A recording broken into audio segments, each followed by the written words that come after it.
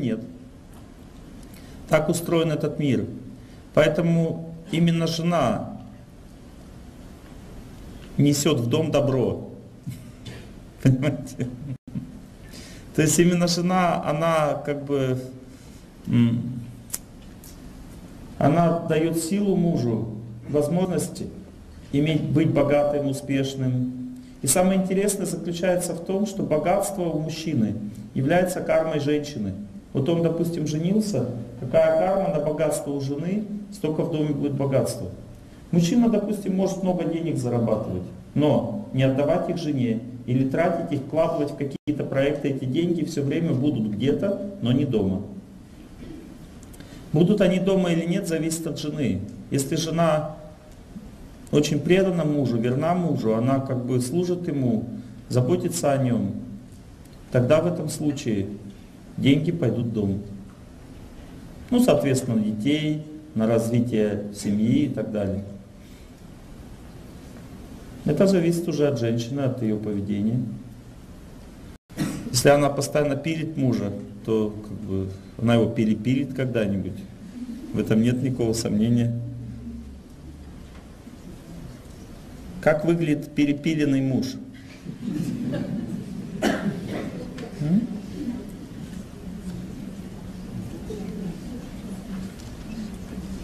Женщина, как выглядит перепиленный муж? У вас есть какие-то представления об этом? М?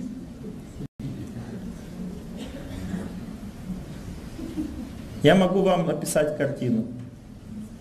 Перепиленный муж обычно ползает под столом в пьяном угаре. Или целыми днями играет в домино. Или постоянно смотрит телевизор без отрыва. Так выглядит перепиленный муж. Если муж э, поддерживается энергией жены, то он выглядит по-другому. Он постоянно занят чем-то важным в жизни. Он постоянно заботится обо всех. Он постоянно интересуется чем-то и постоянно горит желанием что-то делать в жизни. Так выглядит неперепиленный муж. Теперь попытайтесь понять, перепиленный муж у вас или недопиленный.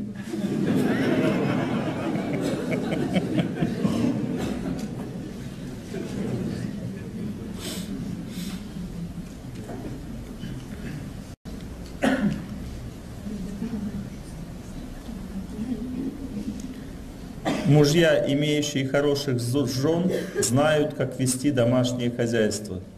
Представляете, что творится в ведах? Какие вещи говорят.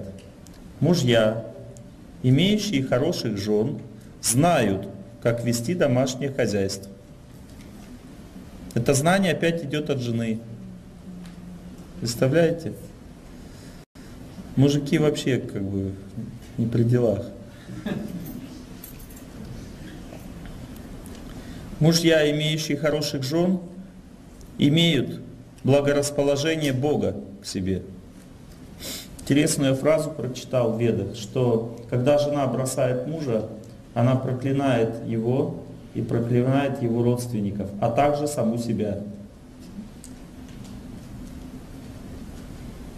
Ну, то есть женщина, которая бросила мужа, она сама становится несчастной, делает несчастным мужа также.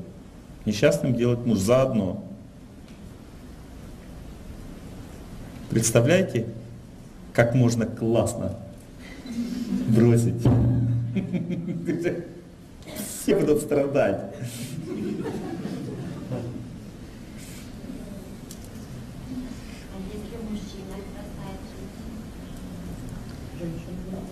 Женщина в это время наступает период э, развития. Если мужчина бросает, женщина развивается как личность. Она ближе к Богу становится. Мужчина идет деградации.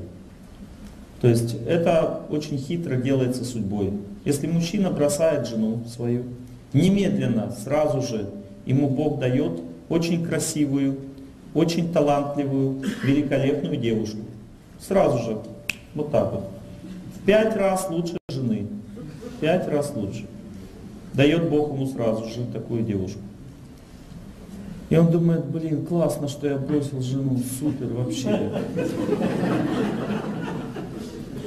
И он втрыхивается в эту девушку по по, по самые уши. Все, то есть он ее любит бесконечно. Что дальше происходит? Эта девушка начинает гордиться собой все больше и больше рядом с ним. А потом, через несколько лет, дает ему очень большого пинка. И он летит. Мой дельтаплан. Очень далеко. И годика два потом мучается неимоверно, страдает. И только потом он понимает, зачем он дурак, бросил свою нормальную жену. Вам нравится такая картинка? Нет. И мне тоже не нравится. Поэтому знание превыше всего в этом мире. Когда человек уже знает, что будет дальше, он смотрит, по крайней мере. Если он видит, да, правильно говорил этот очкарик, дал мне Бог красивую девушку, и она уже начала гордиться собой, надо сматываться назад.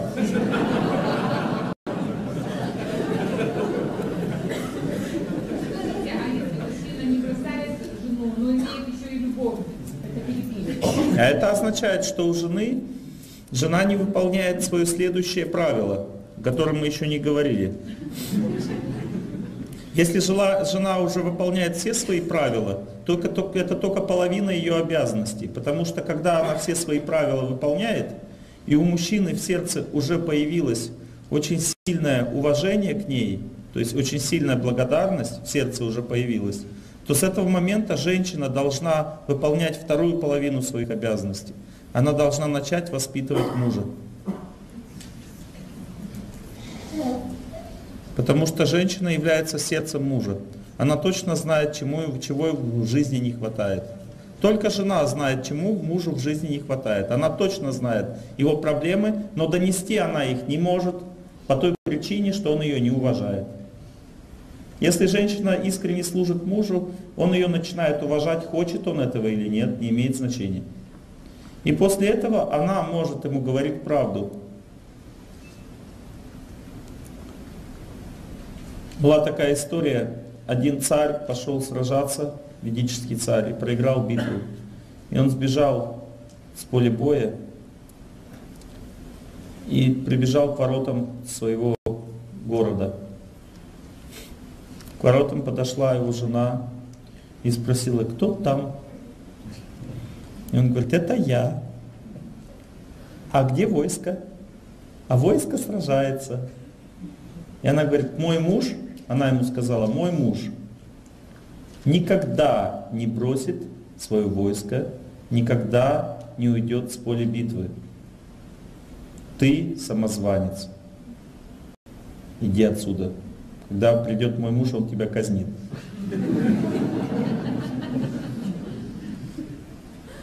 И он сел на коня. Тык-дык, тык-дык, тык-дык. Поскакал назад. А что делать? Какие варианты?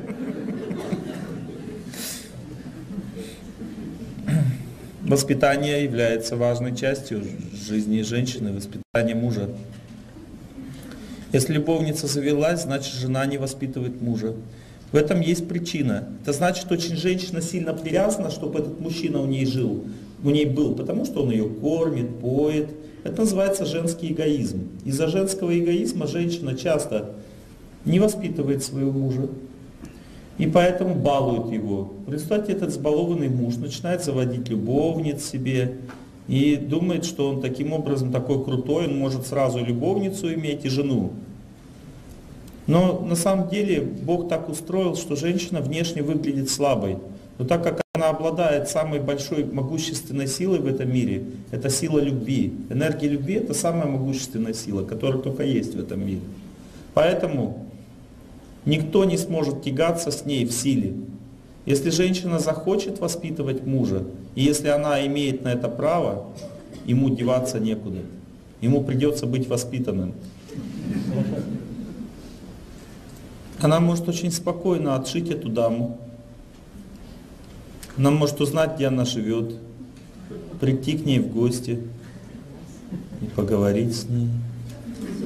без злобы, спросить, как ты живешь. Она скажет, нормально. И я тоже нормально живу. Я вот в свое время мужа не воспитала как надо, поэтому он мучает тебя и мучает себя. Также мучает меня. Видишь, пока ты вот с ним гуляешь, ты не сможешь выйти замуж ни за кого. А он не сможет бросить меня, потому что я ему верна, я не гуляю. Поэтому лучше тебе заставить себя отказаться от отношений с ним. Этим ты спасешь свою судьбу.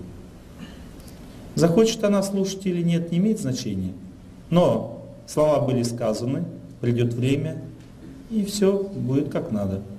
То есть воспитывать мужа надо начинать с девушки, с которой он общается. Мужчин другая ситуация. Если девушка начала с кем-то гулять, его жена начала с кем-то гулять, надо найти этого человека, с кем она гуляет.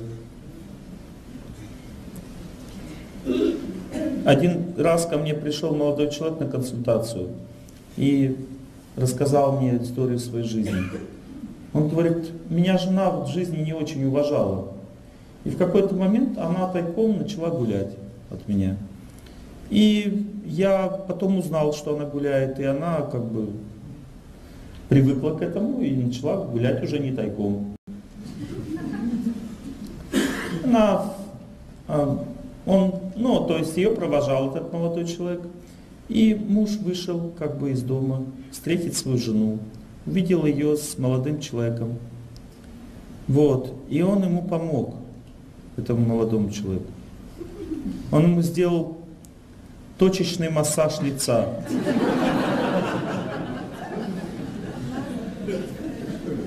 Ну, как бы он, он его полечил при жене.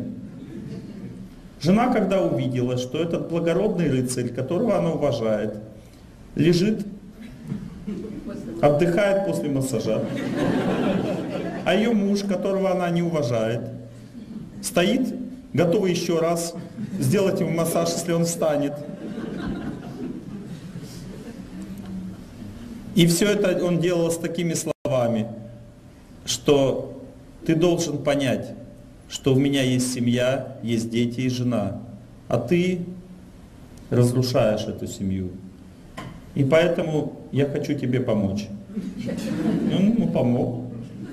Тут, когда как бы массаж был закончен, он больше не хотел уже общаться с его женой. Все. Жена начала уважать своего мужа.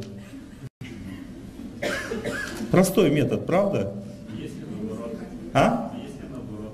Наоборот не может быть. Правда на того, на того стороне того человека, который Бог защищает того, кто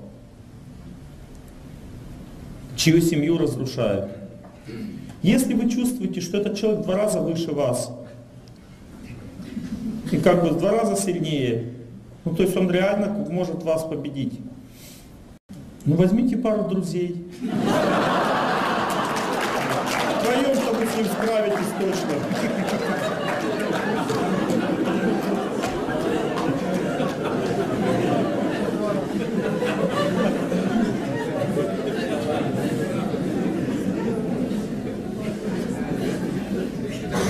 Бог всегда на стороне тот, кто, того, кто имеет правду. Если вам для того, чтобы доказать правду, мало одного, значит возьмите пять. И докажите правду тому, кто не хочет ее видеть. Правда заключается в том, что семья должна быть сохранена на благо детей, на благо жены. Женщине очень трудно отвязаться от человека, который ее соблазнил, самой. Надо ей помочь. В этом заключается обязанность мужа. Жена потом будет благодарна. Она сначала поплачет, поплачет немножко.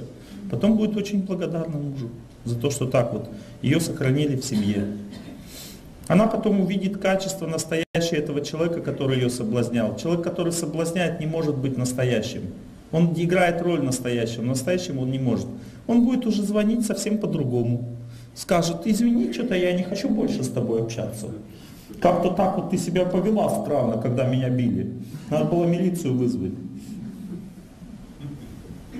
Она скажет, извини, я на своего мужа милицию вызывать не буду. Ну и так далее, понимаете? Сразу как бы другие, другая песня будет петься в этом во всем. Смотрите, если правда на стороне семьи, да, Так. основной мотив, Мгм. но любовница оказалась лучшей воспитательницей. Вот лучше. А любовница всегда лучше воспитательница. Как ей бороться с женой? По- Подруги здесь не сработают. Ей бороться с женой. Любовнице бороться с женой. Которая слабая воспитательница. А никогда любовница не может бороться с женой, потому что Бог создал семью, и Он ее охраняет. Даже если любовница считает себя лучшей воспитательницей, все равно ей придется оставить этого человека или страдать. Мы не решаем, с кем нам жить. Если человек вырывает мужа из семьи и считает, что он поступает правильно, потому что он лучше, она лучше, допустим, этой женщины, с которой, она, ну, с которой он живет, то это означает несанкционированное вмешательство в жизнь человека. Потому что семью создает Бог. Кто нашел себе мужа? Поднимите руку. Никто не нашел себе мужа. Муж пришел сам в жизнь. Мы даже пять, ру- пять лат не можем найти в городе. Если пойдем искать целенаправленно, мы ничего не найдем. Будем ходить, ходить по городу, не будем видеть это и пять лат. А как найти мужа? Никто не может найти себе мужа. Приходит время, Бог дает мужа. И надо этим дорожить. Бог дал мужа, значит надо им дорожить. Если женщина не дорожила, то он нас завел любовницу. Хорошо? Права ли любовница? Нет. Потому что человек в этой жизни может несанкционированные поступки совершать. Поэтому мы и страдаем. То есть мы можем совершить поступок без воли Бога. Мне кто-то понравился, надо решить вопрос. Имеешь ли ты право на этого человека или нет? Если не имеешь права, значит он станет причиной твоих страданий. Красота в этом мире является крючком. Красота, благородство мужчин, красота женщин является крючком, который приносит человеку самый максимум количества страданий. И это не только в человеческой жизни так устроено. Мы можем изучить вообще, как происходят страдания в этом мире, допустим, у животных. У оленя самое любимое чувство – это чувство слуха. Он с большим удовольствием слушает музыку. И музыку вообще леса. Он слышит музыку леса. Поэтому олени иногда останавливаются, замирают и вот так слушают лес. И поэтому охотники с древних времен имеют рожки. Они играют в рожок, олени прибегают, их убивают, не надо за ним даже бегать.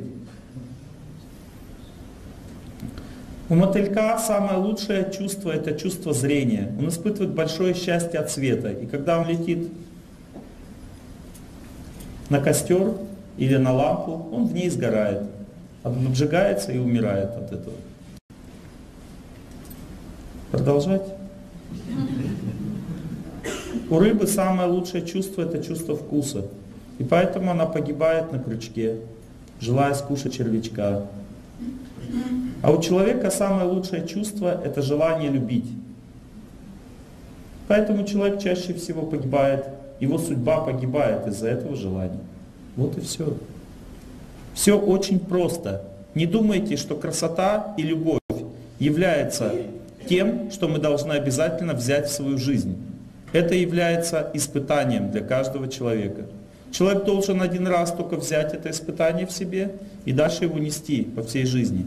Потому что то, что мы считаем любовью, чем, с чего мы ждем в своей жизни, на самом деле является влюбленностью. И это является опасным испытанием судьбы. Влюбленность не цель жизни человека. Влюбленность надо испытать один раз и потом дальше сражаться за любовь. Потому что когда влюбленность проходит, дальше начинаются испытания.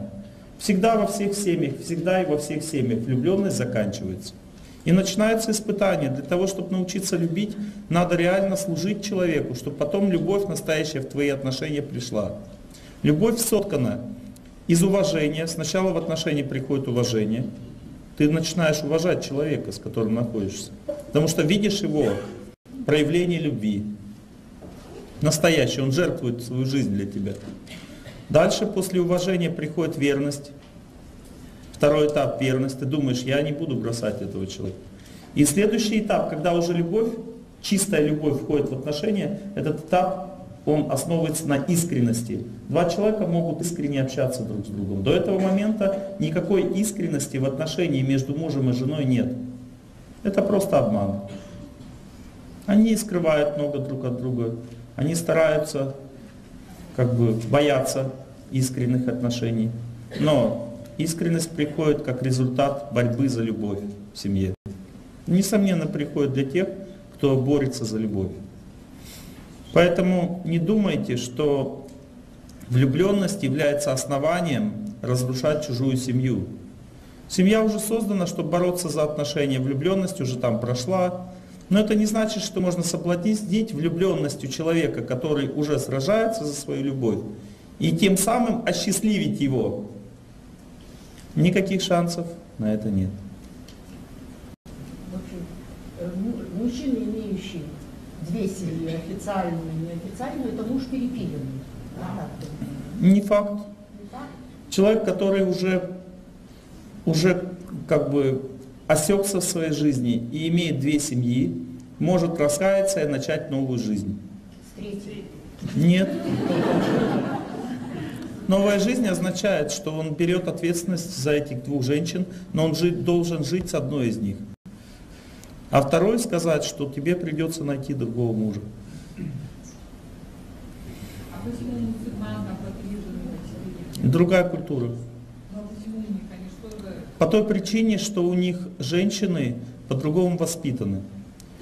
А жить с тремя женами или с двумя, это, или с одной, это зависит от настроения жены. Кто из вас готов жить вместе с другой женщиной рядом со своим мужем. Поднимите руку. Вот поэтому вы не мусульмане. А если мусульман спросить, а у меня была такая возможность, то многие мусульманки поднимают руку без проблем. Это зависит от воспитания женщины. Ну, вы знаете, к сожалению, сегодня в Литве наблюдается другая картина. Угу. Женщины боятся в этом признаться, но счастливо живут две женщины с одним мужем. Одна использует его положение, богатство, а другая его возможность подарить ей какой-то подарок и счастье. Но надо определиться мужчине, кто его жена из этих двух. Ну это трудно, наверное, я не мужчина. Но в этом заключается проблема. Так могут все эти трое страдать всю жизнь. Я как-то жил в Ростов, приехал в Ростове с лекциями, и меня на лекции вез мужчина, с ним рядом была жена, и он мне начал рассказывать историю своей жизни, что у него есть жена, есть любовница, они все трое ходят на мои лекции. Потом я познакомился с любовницей, я ее уговаривал расстаться с ним, она плакала. Говорил, я знаю, что надо, но никак не могу заставить себя. Я говорю, ну ты заставь, он же сам не сможет, он слабый человек. Так мы общались. Они все трое страдают. У них жизнь как ад, потому что никакого счастья жить так, как Бог не хочет, нет. Если человек живет так, как его, Бог в его сердце не любит, он все равно будет страдать, хоть и будет делать вид, что ему хорошо. Потому что счастье человеку дает Бог, представительство Бога, который находится в сердце. Ведах называют сверхдуша, или голос совести, или голос истины. Это энергия счастья, которая выходит изнутри. Кто из вас чувствовал хоть раз в жизни, что вот так раз, что-то вышло изнутри и стало хорошо? Могу вам сказать по секрету, что вы каждый день это имеете, но не всегда можете понять, что это так. Счастье приходит только из сердца человека, оно не приходит извне. Это иллюзия думать, что счастье приходит извне. Поэтому если человек делает все, как Бог хочет, тогда он счастлив по-настоящему. А если он так не делает, значит, его счастье это просто его сон. Он просто, ну как вы знаете, можно же мечтать, во что-то верить, в такую иллюзию, жить этой иллюзией. Настоящего счастья нет. Рано или поздно это становится заметным в жизни. ты уже понимаешь, что это все просто иллюзия. Счастья настоящего в таких отношениях нет. Человек должен учиться жить правильно, и тогда он будет счастлив. Перейдем на мужчин.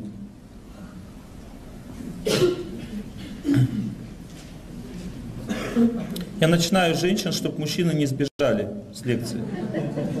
Это важно, потому что мужчин сердце более чувствительное, они боятся, когда с них начинает. Женщины готовы принять удар судьбы на себя быстрее. Я хочу спросить еще, если можно. А как узнать, э, что вот надо другого человека именно бросить мужа, ну как не бросить, но что кармами это вот ну, не можно отрабатывать? Это, ну, допустим, ты живешь с мужем, как узнать, что ты не можешь с ним отработать свою карму, и надо его в результате бросить? Сейчас объясню. Э, не отрабатывать то же самое с другим? А невозможно с другим то же самое отрабатывать. Экзамен сдается один раз только. Смотрите, ты живешь с мужем, допустим, отношения тяжелые. Это необычная ситуация или обычная? Обычная. Во всех семьях, когда влюбленность проходит, отношения становятся тяжелыми. Потому что любовь это не сладкая конфетка, которую можно забросить в рот просто так. Ее надо заслужить. Так отношения с любым мужчиной тяжелые. Часто женщины не понимают, думают, может бросить мужа. Как определить, можешь ты сделать счастливыми отношения с этим человеком или нет? Ответ очень простой, можешь. Потому что все люди это души, и все люди обладают энергией счастья. Если ты с этим человеком будешь вести себя правильно, то ему придется тебя полюбить. Надо просто понять, в чем я не права. В этом заключается самая большая трудность. Если ты с этим человеком не поймешь, то значит со следующим тоже не поймешь. И так далее, это будет бесконечно, пока тебе не придется понять. Но интерес, самое удивительное заключается в том, что с каждым бросанием человек получает себе человека другого ниже по развитию духовному.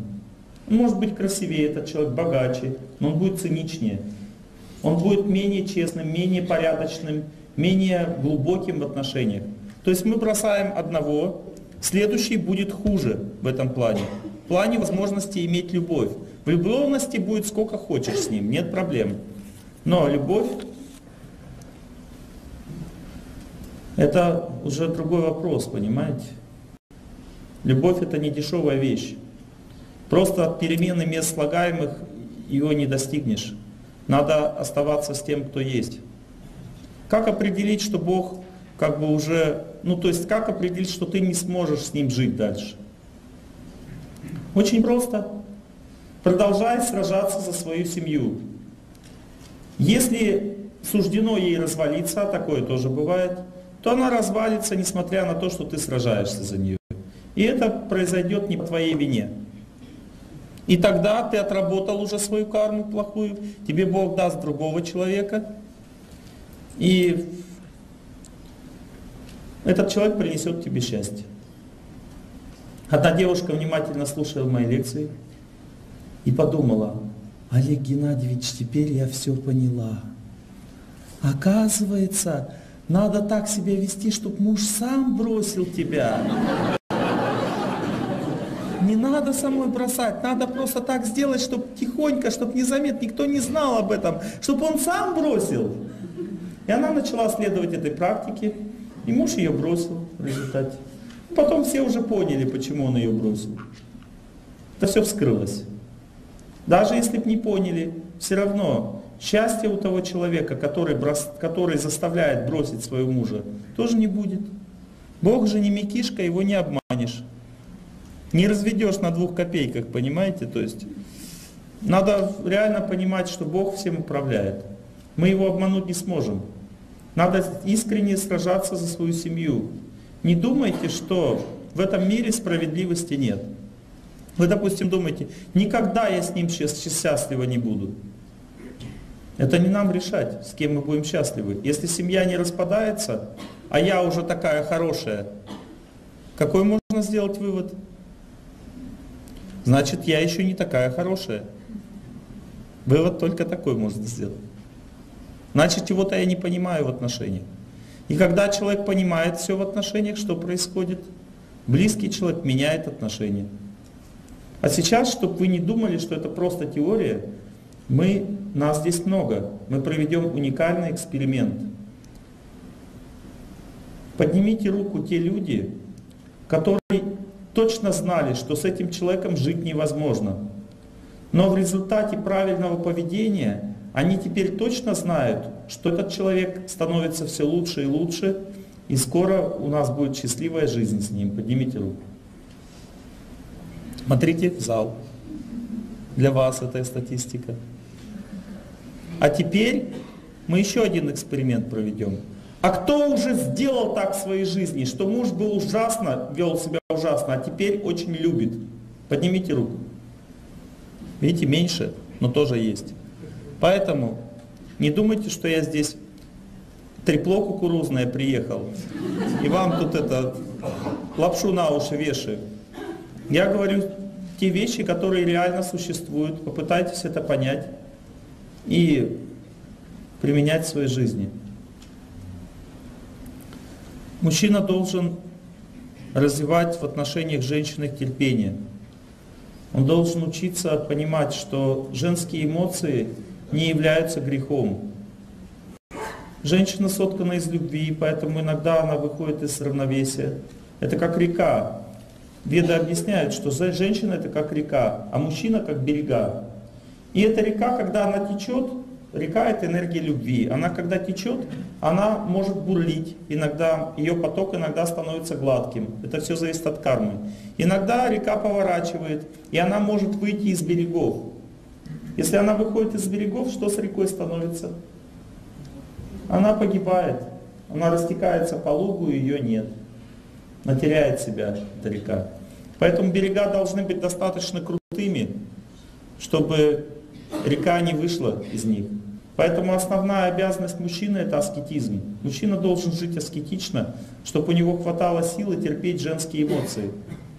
Он должен быть очень сильным в том плане, чтобы не поддаваться этим эмоциям. А поддается мужчина всегда женским эмоциям только в том случае, если он хочет ей наслаждаться.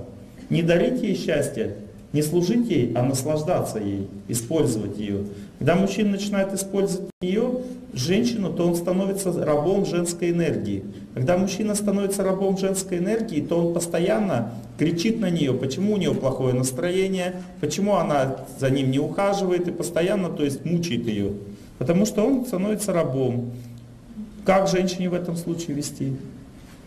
Надо сердцем своим отстраниться от него. И не заводить с ним близких отношений до тех пор, пока он не остынет. Когда мужчина остывает, он становится опять крепким, сильным и уже может держать течение реки в нужном русле. То есть у него достаточно высокие берега. Берега растут от аскетизма и воздержания мужчины. Чем больше мужчина аскетичен, направлен на служение людям, на служение бескорыстной жене, и чем меньше он хочет эксплуатировать ее тело, тем сильнее у него психика и способность спокойно относиться к эмоциям женщины. В этом случае женщина становится сама спокойная, она, она чувствует себя защищенной рядом с, этой, с этим мужчиной. Потому что женщина знает, что она сама управлять своими эмоциями не может, нет такой силы, и поэтому она выбрасывает их на своего мужа всегда. И это неизбежность, которую надо принять как судьбу. Мужчина должен быть очень сильным, а это значит отстраненным немножко от жены. Когда женщина начинает плакать, истерики качать, надо спокойно кивать головой. Да, моя дорогая, да, моя дорогая, все купим, все у нас будет, все приобретем, ко всем сходим в гости, везде съездим, обязательно. Обязательно. Когда поговорим завтра, когда ты успокоишься. Когда я тебе сейчас не могу сказать, потому что ты нервничаешь, но завтра мы поговорим с тобой, когда это все будет. И завтра надо погладить жену на следующий день и сказать, моя дорогая, я тебя очень люблю, ты понимаешь это? Она скажет, нет. Она скажет, надо сказать, еще погладить разок. Ты теперь понимаешь, что я тебя очень люблю? Немножко понимаю. Вот, теперь ты должна меня выслушать. Мы с тобой будем это иметь не сегодня. И сказать, у нас все равно все хорошо, ты согласна? Да. Все, и все будет нормально. Понимаете, так мужчина должен себя вести. Веды говорят, что мужчина должен воспринимать женщину как ребенка. Ее эмоции для него как, как... Он не должен им серьезное значение придавать. Он должен эмоции женщины воспринимать как ребенка. Но между ребенком и женщиной есть, женщиной есть разница. Разница заключается в том, что ребенка можно приструнить, его эмоции можно подавить силой, а эмоции женщины силой не подавишь. В этом разница между женщиной и ребенком, понимаете? То есть ребенком ну, и все. А женщиной так не получится. Потому что если мужчина начинает давить на женщину, то есть берега начнут сходиться, что с рекой происходит? Она выходит из берегов просто и все, и течет куда хочет. Ничего не получится. Это не работает с женщиной. Психика женщины сильнее, чем у мужчины, и поэтому она будет истерики катать до последнего. Пока мужчина или не, постель, ни на, на стенку не полезет, или не сопьется, или не начнет бить свою жену, или не убежит из дома и так далее. То есть и женщина сама не может остановить, потому что она река. Река себя остановить не может, может только муж ее остановить. Единственный способ останавливать это твердый внутренний характер. Спокойный, твердый характер и отношение к женщине снисходительно очень, как к ребенку. Не значит, что женщина ребенок. Женщина соткана из любви, ее сердце абсолютно чувствительно, и разум женщины имеет чистую природу, а мужчины разум сильную. Если муж слушает слова своей жены, то в этом случае он знает, что будет дальше. И также знает, как ему себя со всеми вести, потому что ее сердце очень четко реагирует на то, что происходит с ним. Это не значит, что женщина сама для себя может также это все делать. Она для себя может обычно ошибается. Но по отношению к мужу она знает все как есть. Поэтому разумный мужчина всегда спрашивает совета у своей жены. И жена ему дает очень правильный совет чаще всего. Но надо внимательно следить за настроением жены. Если женщина отвечает спокойно, значит это истина. А если она эмоционально отвечает, возбужденно, значит не надо ее слушать. Если женщина спокойно говорит что-то, значит она знает правду. А если она чего-то хочет, значит она будет обманывать. Ну то есть надо внимательно следить за настроением жены. Но мудрость женщины, она имеет такую природу, природу чистоты. А мудрость мужчины имеет природу силы. И женщина должна знать, как направить эту силу в нужное русло. Не надо вставать перед ней, перед этой силой. Получится водопад. Если навалиться на берег, река наваливается на берег, что получается? Она вытекает из берегов, потом падает куда-нибудь. Ну то есть опасно и разбивается в дребезги потом. Итак, мужчина должен иметь терпение, он должен иметь наставника в своей жизни. Потому что мужчина, который не имеет наставника, он не знает, как ему жить. У мужчины есть одна проблема, он себя считает Богом. Он считает, что он все знает, все понимает, как ему жить. Яйца курицу не учат, то есть он крутой, он все знает, все понимает. Ну, на лекции не надо ему ходить, он так все это знает сам. Вот, то есть это для мужчины проблема. Интересно знать, что если женщина слушается своего мужа, то она воспитывает в нем желание иметь наставника. То есть если женщина подчиняется своему мужу, такому крутому, то она подчиняется, означает, что она может потом его воспитывать. Она может ему говорить какие-то вещи. У мужчины просыпается разум. Он начинает понимать, что он не все понимает в жизни, что нужно изучать, как жить правильно. И он начинает изучать постепенно. Обязанность мужчины иметь наставника, чтобы точно знать, куда его понесло. Потому что мужчине самому очень трудно понять, куда его несет. Но наставник может сказать, это принимать очень трудно, но надо учиться.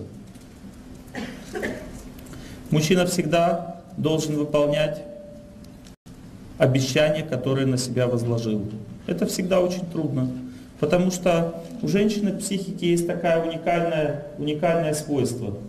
Женщина так невзначай, в состоянии любви, что-то просит у мужа, между делом. Очень так ненавязчиво.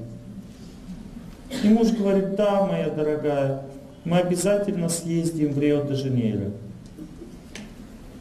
Ну, просто в состоянии любви мужчина готов что все что угодно женщине сказать. Она это запоминает. И потом, когда уже не в состоянии любви он находится, она ему говорит, ты мне обещал.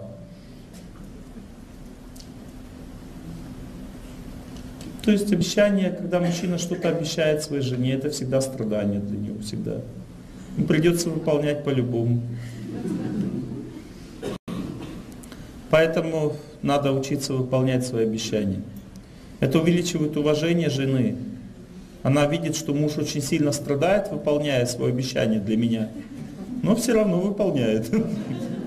Она начинает его уважать в результате. Да, у нее сердце сострадает, она думает, Господи, какой хороший человек. Какую-то ерунду я у него попросила, и он мучается из этой ерунды. И все равно хочет выполнить ее. Даже если я ему говорю, все, не надо мне уже этой ерунды, я уже не хочу. Он все равно пытается выполнить во что бы то ни стало. Она начинает уважать, думает, не надо все подряд просить у мужа, потому что иначе он погибнет у меня. Мучение.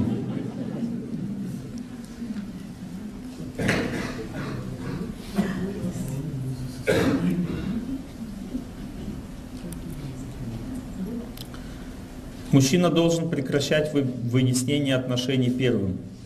Если начинается выяснение отношений, женщина с чем-то не согласна, она ведет себя эмоционально, это значит не время решать проблему. Надо от женщины немедленно отстраниться и быть униженным. Последнее слово пускай будет за ней.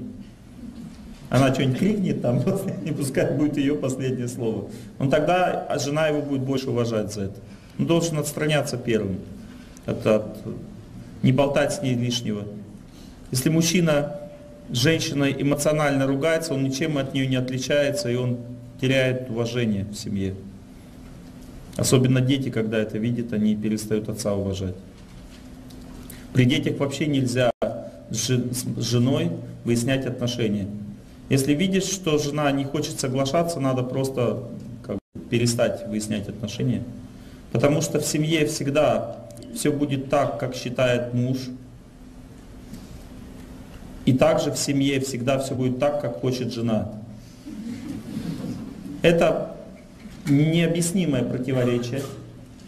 Необъяснимое противоречие, но Бог все урегулирует, не волнуйтесь. В семье всегда будет так, как хочет жена, и так, как считает муж. Всегда. В нормальной семье. А если мнение мужа и желание жены поставить вот так лбом к лбу, тогда будет война, которая никогда не закончится. Надо просто признать мнение мужа, женщине, и добиваться своего желания. Потом, после этого признать. Мужчине надо принять желание жены, сказать, признать, да, согласен, и остаться при своем мнении. Никто ничего не теряет, все остаются при своем. Придет время, и Бог решит проблему. И то получится, и это одновременно. Мужчина должен в семье с помощью силы воли, аскезы, аскез и силы воли стать в семье старшим. Женщина врожденно имеет больше способностей и талантов, чем мужчина. Можно видеть, что женщинам легко учиться, гораздо легче. Если взять, допустим, пятилетнего ребенка, девочку и мальчика, и посмотреть на них. Девочка, она очень всех хорошо понимает, она может рассказать характер любого человека вот так очень легко. Она легко учится, она... Туда. Не обращайте внимания, там непонятно что-то происходит, это не наше дело. Вот, девочка хорошо учится, она всех понимает, она знает, как с кем строить отношения, у нее легко получается учиться, у нее хорошая память, у нее хорошие способности с пяти лет. Представляете? Все само собой дано девочке в жизни. Мальчик в пять лет как выглядит?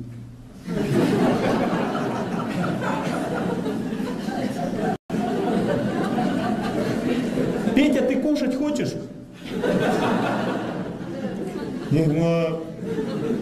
Гулять хочешь? Да. А когда кушать будешь? Не знаю. Ты уроки понял? Нет. Ну представьте, вот мальчик таким как бы, пять лет мальчик, он ничего не соображает. Он знает, что ему надо куда-то бежать, а куда не знает еще. Пять лет. И так мужчине ничего не дается, кроме силы воли в жизни. Мужчина ничего не имеет с рождения. Ничего не имеет. Но мужчина должен своей силой воли стать талантливее, чем женщина. И тогда она начнет его уважать. Проходит время, и мужчина становится более образованным, более грамотным, более опытным, чем женщина. И это означает жизнь. То есть мужчина должен стать лучше, он должен своей силой воли развиваться как личность. И должен стать очень мудрым. Но для этого он должен совершать аскезы, он должен учиться подчиняться мнению старших, он должен победить в себе упертость и стать мудрым человеком. Это непросто для мужчины, непросто. Он должен ежедневно работать над собой, выполнять режим дня, очень серьезно закаливаться, совершать аскезы всевозможные, иногда голодать.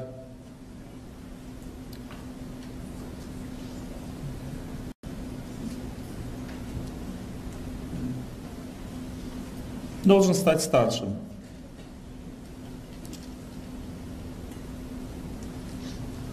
Он должен учиться воспитывать всех вокруг себя. Это надо делать очень спокойно. То есть старше означает также учить. Он должен а, учиться разговаривать с своей женой. Разговаривать с женой надо очень спокойно и мягко. В этом обязанность мужчины. Надо, если ты ей что-то хочешь сказать прямо сейчас, то лучше не говорить прямо сейчас. Скажи, когда у тебя спокойное настроение. Вот ты захотел что-то сказать ей, что-то тебе не нравится, не надо этого делать сейчас. Сдержись, успокойся и не, не беспокойся. Придет время, естественным образом, когда отношения будут мягкими, ты ей спокойно это все скажешь. Лучше это делать как бы невзначай, и как будто бы это не имеет слишком большого значения. Например, моя дорогая, как-то гуляя, допустим, по берегу, моя дорогая, а ты можешь мне завтра приготовить без лука пищу? Я не хочу лук. Не после еды, зачем ты мне с луком приготовил? А когда просто уже ситуация совсем другая. Просто не говоря о том, что уже было, сказать о том, что он бы хотел. Этого достаточно, женщина будет так делать. Но если на нее нажать, то она не будет этого делать. Деньги, заработанные мужем, являются благочестивыми деньгами. Деньги, заработанные женой, это опасные деньги, которые на самом деле могут разрушить отношения. Деньги, заработанные женой, расслабляют мужа. Он естественным образом, если жена много приносит, муж, мужчина естественным образом, его психика расслабляется, потому что мужчина, он человек войны. Ему надо сражаться, он не может просто так ходить на работу. Он ходит на работу, потому что надо спасать семью. Если он видит, что жена как бы не может нормально зарабатывать, то он идет в бой спасать семью и работать там, где Бог дал. Но если жена достаточно зарабатывает, то думает, буду искать себе хорошую работу. Все париться не надо, жена уже хорошо зарабатывает и так.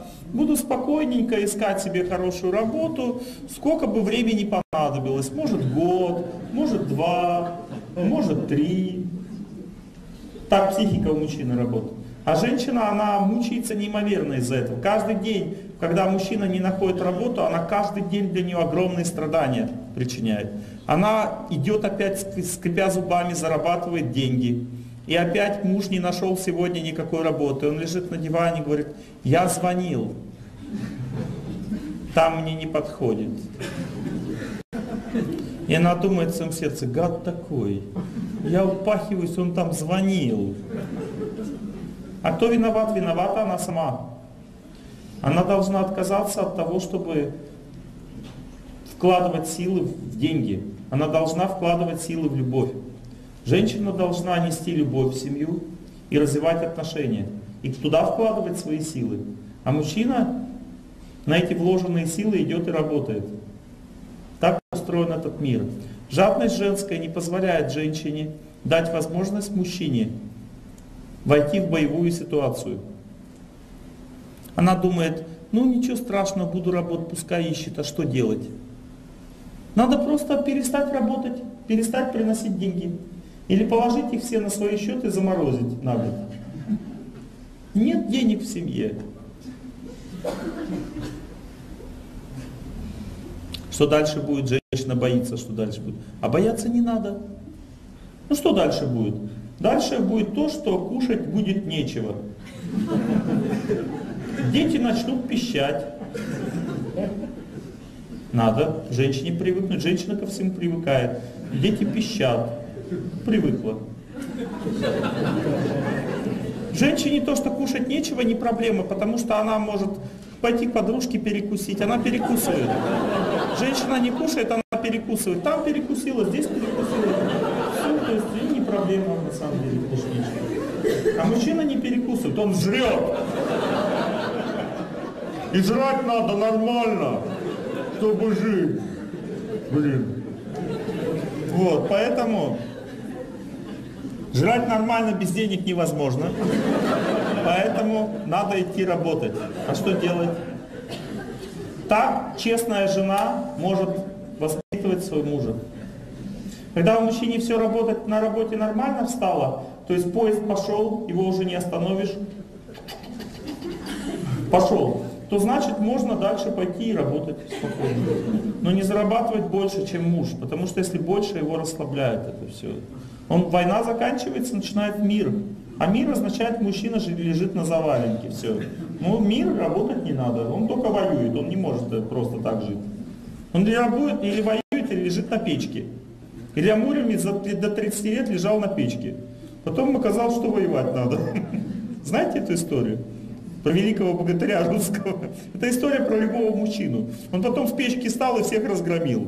Ну потому что настоящий мужчина или лежит на печке, или воюет. Одно из двух, понимаете? Не может просто ходить на работу. Поэтому женщина должна военную обстановку создать мужчине, чтобы как бы надо было всегда воевать. Потом привыкнет воевать, и все, и будет денег достаточно дома. Но для этого надо скупость сердца победить, потому что женщины очень скупы по природе часто бывают. И они не хотят, чтобы дома не было денег. Поэтому муж и расслабляется, продолжает расслабляться. А если не говорить мужу, сколько зарабатываешь? Тогда, ну, тут, допустим, ты зарабатываешь больше, но не говоришь мужу, что ты зарабатываешь больше. Куда эти деньги пойдут? Для себя. Вот это и есть страдание для себя. То есть женщина начинает обманывать мужа, начинает хитрить с этими деньгами. И в конце концов она на этих деньгах попадается как на крючке. Поэтому просто лучше не зарабатывать больше, чем муж, и все. Можно зарабатывать больше, чем муж, если судьба дает больше денег. Ты можешь в семье как бы выполнять все свои обязанности, все родственники испытывают умиротворение в семье, и семья тебе дает больше денег, чем мужу. Такое тоже может быть. Эти деньги надо откладывать на черный день. Значит, Бог дает их для того, чтобы потом как-то использовать. Скажите, а бывает у женщины упертость в характере? Ну, конечно, бывает. Ну, как.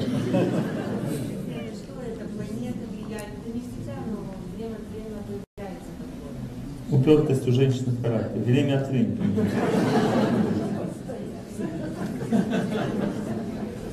Голубчик, вы где живете? Упертость у женщины в характере всегда бывает. Она никогда не кончается. Просто женщины могут это хитро скрывать. Они делают такой смиренный вид, подчиняются мужу. Но упертость у женщины в характере всегда. И она гораздо больше, чем у мужчины в характере. И поэтому в семье женщина всегда победит. Разумный мужчина рано или поздно понимает, что с женой сражаться бесполезно. Ну что у нее упертости в характере гораздо больше у женщин, чем у мужчин.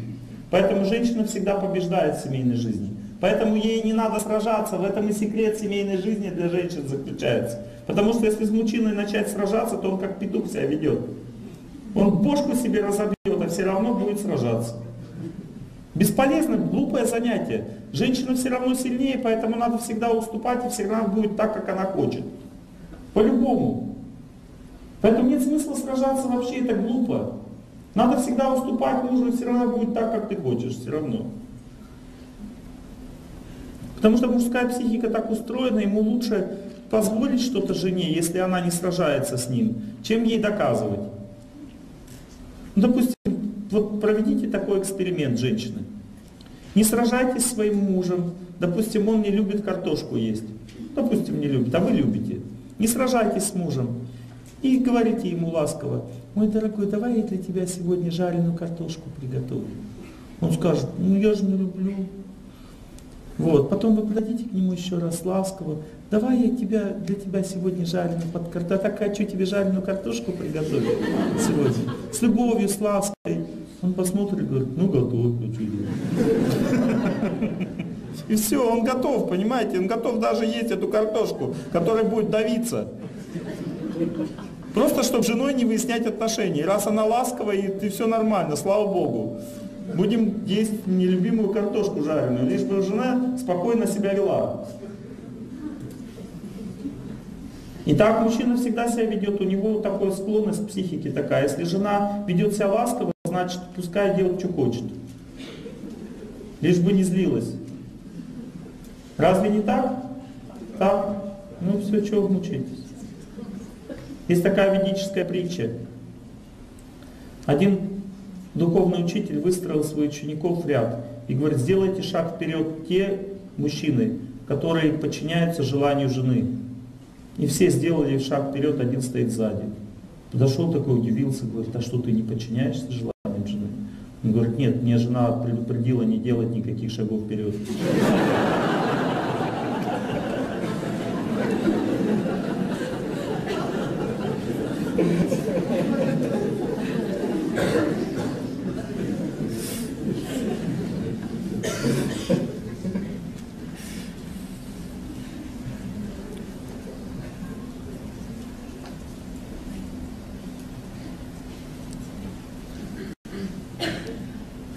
Муж должен давать наставления своей жене, должен учиться ее наставлять. Лучше всего своим примером. Например, жена слишком много спит и кушает сладости по вечерам. И муж не должен это делать, он должен правильно питаться, он должен вставать и ложиться вовремя, но, мужчине, но жене ничего не говорить. Когда наступит время, что у нее начинаются проблемы с гормональными функциями, он должен сесть рядом с ней и сказать, дорогая моя, давай не будем вставать позже 6 утра. Она начнет плакать и скажет, ну я не могу сама себя с постели поднять. И он должен сказать ей, давай я тебя буду поднимать. И он с утра берет жену на руки и несет в ванну. И кладет ее туда. Включает воду приятную. И она такая счастливая, что все у них в жизни хорошо. Потом, если он забудет ее отнести, она сама встанет. Потому что привыкла уже. Ну, так мужчина должен все вопросы решать. Он не должен заставлять жену, он должен сам все решать. Все вопросы. Или просто купил холодильник, в холодильник замок, купил замок на холодильник и закрывает вечером. Ну а что делать? Все сладости в холодильник, закрыл холодильник на замок. Жена походила, поныла возле холодильника и успокоилась. А ну а что делать? Ну, тебе же нельзя, моя дорогая, я поэтому и закрыл. Завтра утром будешь кушать сладости. Все. То есть все гуляли, все кокали, крякали, мычали. То есть была жизнь.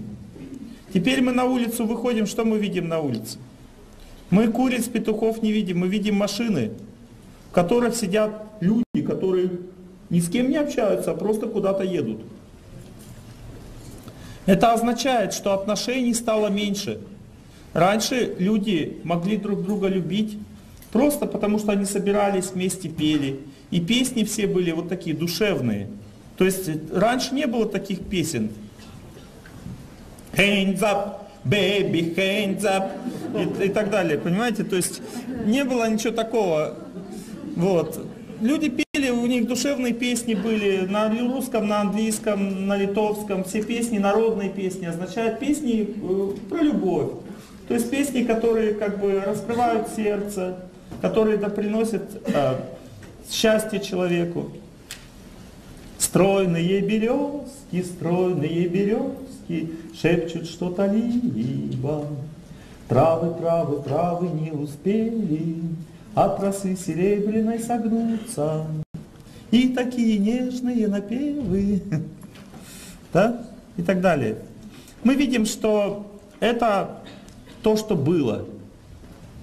Значит, люди стремились к любви, они стремились к правильным отношениям, они работали над собой, пытались развиваться как личности. Они выполнять свой долг пытались. Сейчас тем, чем люди занимаются. Картина современной жизни. Сидит человек на диване, смотрит телевизор, в котором показывают многосерийный телевизионный фильм «Мертвые не потеют». 576 серия.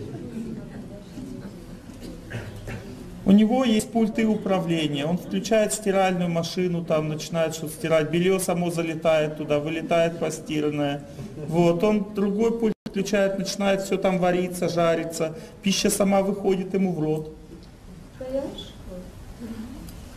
Поддается на податчике пищи, и он ее жует, сидит. Когда он включает другой пульс, под, подлетает э, унитаз, и как бы он какает, покакал, дальше смотрит телевизор, потому что ему надо смотреть следующую, 786 серию, «Мертвые не потеют». И потом, когда он просмотрел уже 1500 серий, он понимает, что мертвые не так и не вспотели.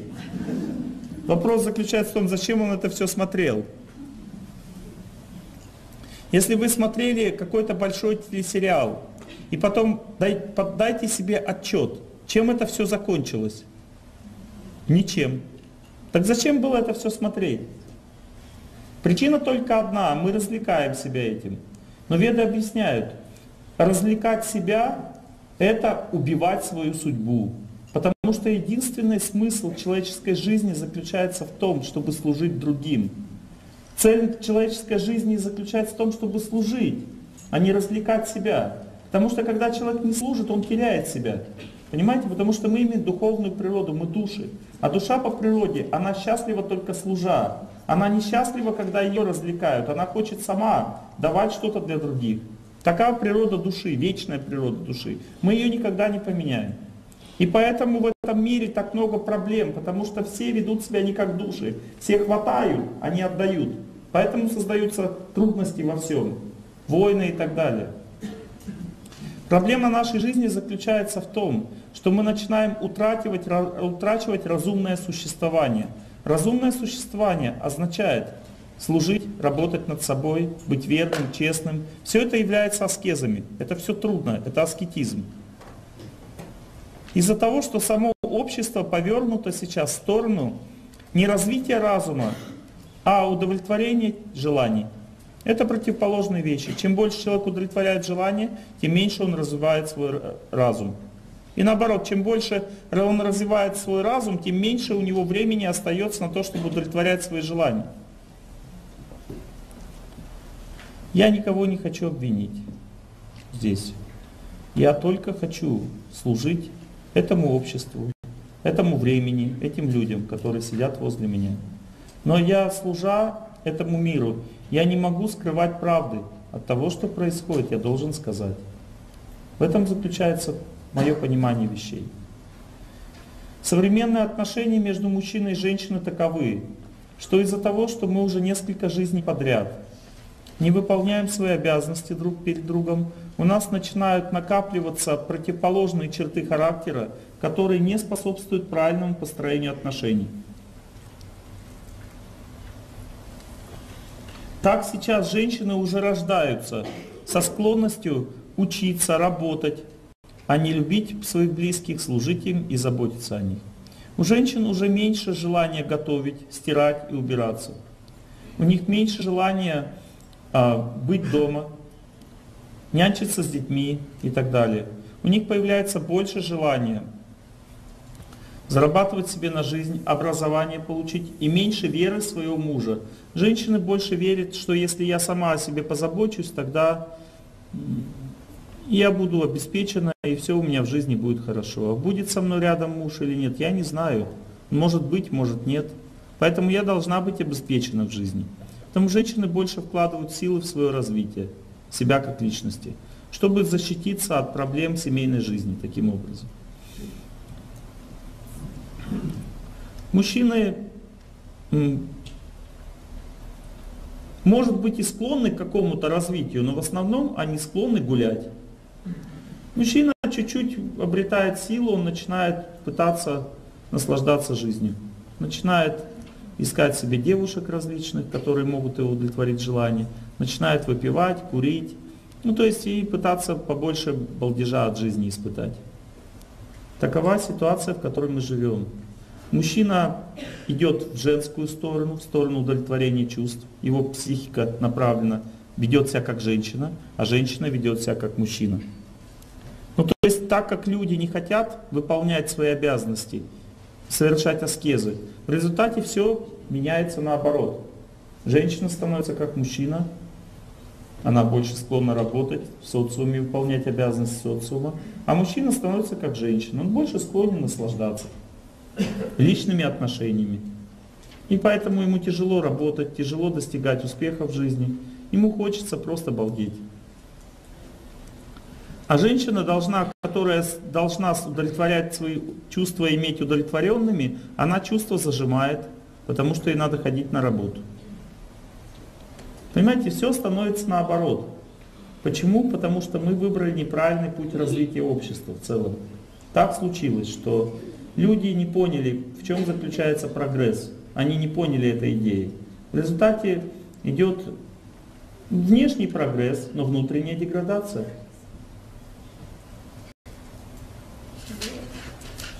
Как вы думаете, основной критерий, как определить, идет развитие общества или деградация его?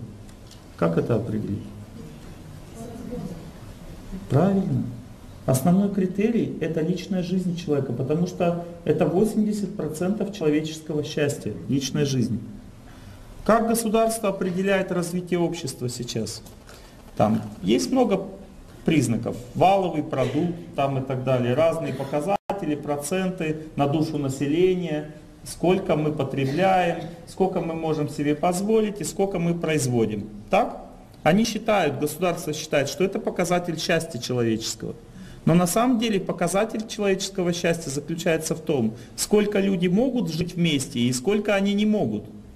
Сколько брошенных детей в этой стране, сколько разведенных женщин, сколько в этой стране мужчин, которые не могут контролировать свои чувства. Вот это показатель развития общества. Понимаете, только в этом является показатель. Еще 50 лет назад Семьи сохранять было легче, чем сейчас, потому что общество было против разводов. Сейчас обществу наплевать. Разведен человек? Нет, не имеет никакого значения. Он может спокойно жить и работать, никто его в личную жизнь не вмешивается. Все говорят, это не наше дело, главное ты работай здесь и все. Это называется эксплуатация. Потому что если начальник действительно хочет помочь своему подчиненному, он его ставит в строгую ситуацию и говорит, в моем коллективе не должно быть разводов. Внешне кажется это насилие, но на самом деле это значит, что начальник берет ответственность за жизнь своих подчиненных, и они потом будут ему благодарны за это. Мы не можем сейчас такие вещи говорить.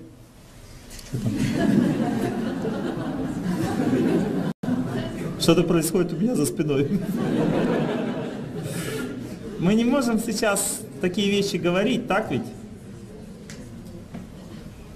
Мы не можем такие вещи сейчас говорить, потому что люди не готовы так жить. Однако мы можем с себя начать. Итак, ситуация, современная ситуация семейной жизни такова, что мужчина не должен рассчитывать на то, что взяв за замуж женщину, она будет соответствовать идеалам ведической женщины. Она скорее будет наоборот, ему полностью не соответствовать.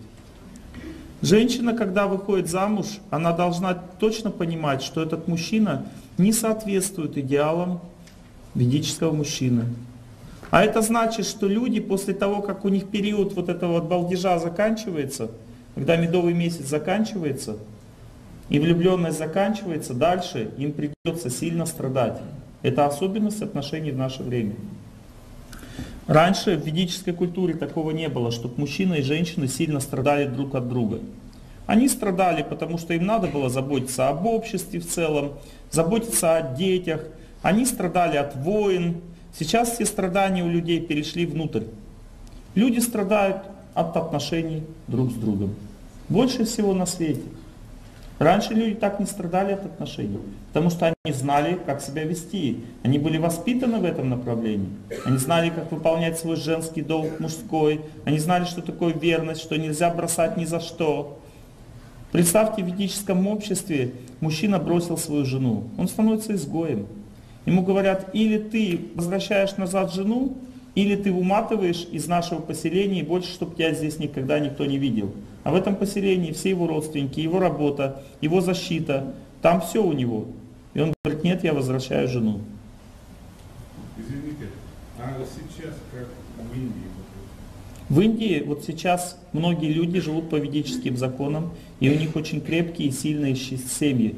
Мой поставщик камней в Джайпуре живет. У него он живет в доме, в одном. В этом доме у них живет его два, два сына со своими женами. Он живет со своей женой. Его отец жил, пока тело не оставил. Он за ним заботился. У него большая семья, они все очень любят друг друга. У них очень большая любовь, потому что они готовы терпеть. У них реально есть, допустим, у него есть еще, у этого человека есть еще дочь, он ее долго выдавал замуж, не мог выдать. Это было страдание для всей семьи. Сейчас выдал ее замуж, и она мучается с мужем, но живет. И отношения постепенно, они сказали, уже постепенно отношения становятся лучше. То есть она перемучилась с ним, вытерпела, и сейчас улучшаются отношения. Она лучше его понимает, он лучше ее понимает. У них начинается нормальная жизнь. То есть там тоже есть тяжелая семейная карма, бывает в ведической традиции. Но веды говорят, лучше перескрипеть зубами один раз, чем скрипеть понемножку всю жизнь. Понимаете? То есть надо просто пересилить карму, победить ее в одних отношениях, а дальше она уже тебя не будет мучить.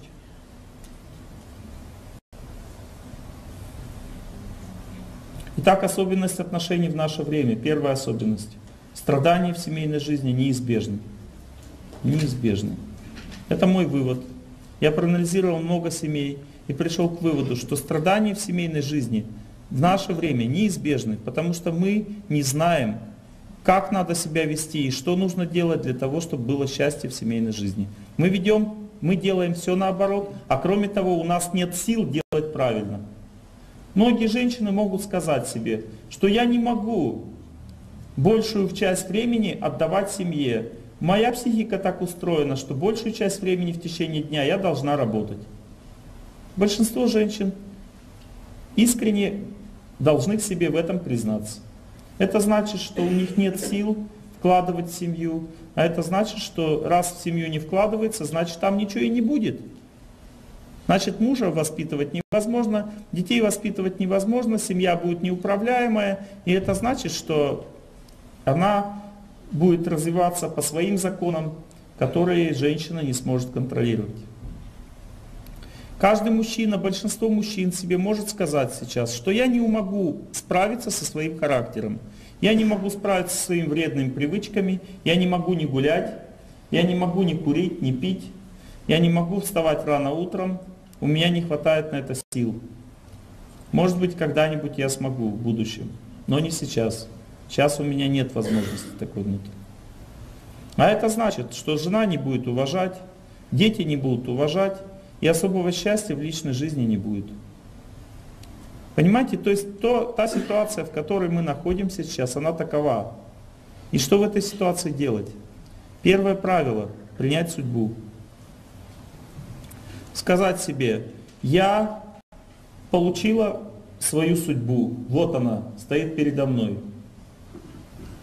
Такая противная, замучила меня моя судьба уже, с вредными привычками, работать не хочет, делать для семьи ничего не хочет, гулять хочет. Моя судьба. Мужчина должен сказать себе, вот она моя судьба, постоянно капризничает, готовить не хочет, стирать не хочет, любить мужа не хочет, хочет работать. На лекции ходить, куда угодно ходить. Любые клубы, организации, только не дома сидеть. По магазинам, куда угодно ходить, чем угодно заниматься, самосовершенствоваться, но семьей не заниматься. Ну, такая ситуация женщин сейчас современная женщина.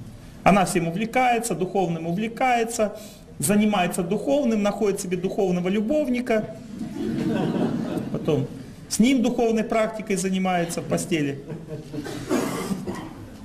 Вот такая ситуация современной жизни сейчас.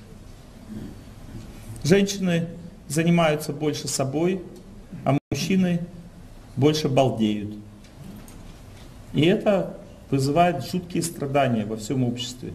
Люди мучаются неимоверно от того, что они не могут или не хотят жить как надо. Что делать? Кто из вас не согласен со мной? С тем описанием, которое я сказал. Есть такие люди? Теперь закономерный вопрос возникает, а что делать? Так? Веды говорят, жизнь человека не предназначена для наслаждений, она предназначена только для подвига. Когда человек хочет совершить свой подвиг, счастье придет к нему без всяких сомнений. И она будет, это счастье будет бежать за ним всю жизнь. Надо просто сказать себе все. Я хочу быть нормальным человеком, я хочу жить, а не мучиться. Поэтому человек должен первое, что сделать, он должен привыкнуть к своей судьбе. Надо поставить фотографии своего мужа, своих детей перед собой рано утром. Над ними поставить фотографию изображения святого человека. Начать молиться святому человеку, кланяться ему с целью принять свою жизнь этих людей. Женщина должна принять свою жизнь этих людей, считать их своей судьбой начать. Как только женщина начинает считать всех людей, которые живут в ее семье своей судьбой, что я буду всегда с ними, что мне нет вариантов уходить. Я должна отдать свою жизнь этим людям. Как только она принимает такое решение, Бог сразу же входит в ее жизнь. А это значит, что удача приходит к ней. Приходит к ней возможность испытывать счастье, преодолевать плохие черты характера своей аскезой своих близких. То есть она получает счастливый билет в своей жизни. Надо принять свою судьбу. Счастливый билет гарантирован. Вы можете слушать мои лекции как сказки или приятное времяпровождение, но я вам даю практические советы. Эти практические советы не выглядят такими простыми, как обычно у психологов. Надо там делать так, делать так, и все будет классно. Как бы вы ни делали, Человек живет сердцем, а не умом. Сердце означает душа. Поэтому душа должна принять определенный способ жизни. Она должна принять, что я живу вот так, я никого не бросаю. Все. Когда такая жизнь принята, Бог входит в жизнь. Потому что по-любому Бог решает все в этом мире. Но проблема заключается в том, что так как мы хотим жить, как мы хотим, поэтому Бог нам дает возможность помучиться. Этот мир на самом деле абсолютно непознаваем для нас. Нам кажется, что вот так будет. Но на самом деле чаще всего происходит все наоборот. Допустим, молодой человек, у меня есть лекция в Москве, я прочитал, называется «Все наоборот». Людям очень понравилось. Потому что много иллюзий я вскрыл, как бы. Молодой человек закончил институт, и он думает, я должен найти себе хорошую работу, высокооплачиваемую, и тогда я буду счастливым человеком. Все наоборот. Ты должен идти работать туда, где судьба дала, и упахиваться там, для того, чтобы быть счастливым человеком и развиться как личность. Женщина видит молодого человека, он строит ей глазки и думает, вот я сейчас познакомлюсь с ним и буду счастливой. Все наоборот. Ты будешь счастливой тогда, когда ты его замучаешь. И не дашь ему с собой познакомиться до тех пор, пока он не добьется тебя. А это и тебе, и ему будет очень тяжело сделать.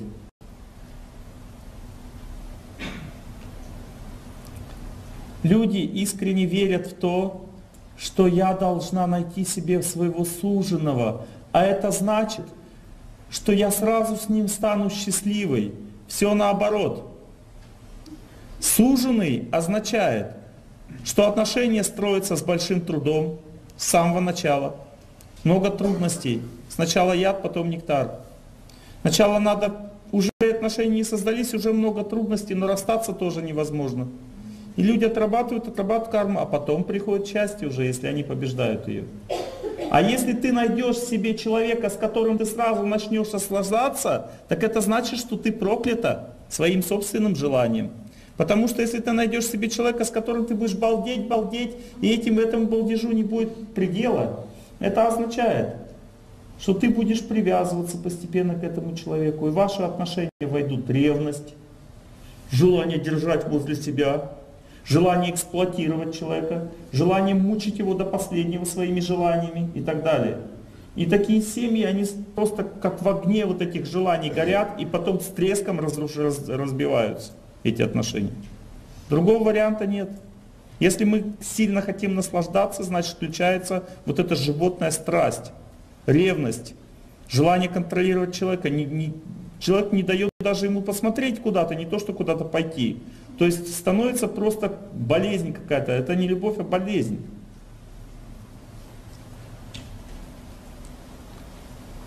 Видите, оказывается, в этом мире не все так просто. Поэтому наше привычное представление о счастье, это может быть обманом. Надо реально изучать, как жить правильно. И правильная жизнь всегда означает сначала аскезы, потом счастье. Таков закон жизни в этом мире. Итак, мужчина должен поставить изображение фотографии своих родственников, жены, детей перед собой. Сверху поставить изображение святого человека и сказать себе, свою красоту я уже нашел, вокруг много девушек красивых, и с каждым днем становится все больше и больше. Потому что я становлюсь старше, чем мужчина старше становится, тем больше становится красивых девушек вокруг. Потому что они же моложе. Я свою красоту уже нашел. И чтобы я понял, что это так, мне надо молиться святому человеку, чтобы он дал в мое сердце знание, что мне не надо больше ничего менять. Потому что когда человек это знание в сердце получает, у него он успокаивается, ему уже не надо париться, бегать вокруг. Ему Бог будет показывать, что эта женщина лучше все равно, с которой ты живешь, чем те, которые тебе попадаются на глаза. Это знание должен Бог показать. Оно является тайным. Потому что мужчине всегда кажется, что новая девушка лучше. Почему? Потому что он становится взрослее, означает у него больше ответственности, больше внутренней силы, больше разума. И, соответственно, девушки молодые к нему будут относиться более серьезно, чем относится его жена. И поэтому есть естественное желание бросить свою жену и начать жизнь сначала. Начни сначала, пусть не везет подчас, не верь в отчаяние, влюбись в первый раз. Эта песня, она у мужчины постоянно в сердце поется.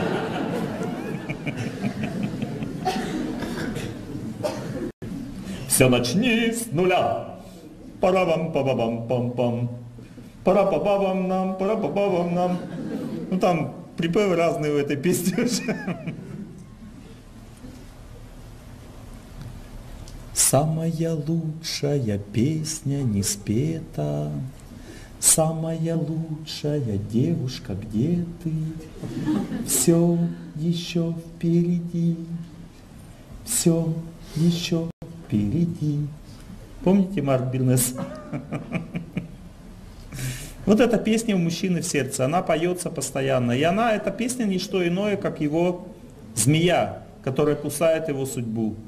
Потом, знаете, что произойдет? Эта песня, она сейчас поется. Потом произойдет, знаете что?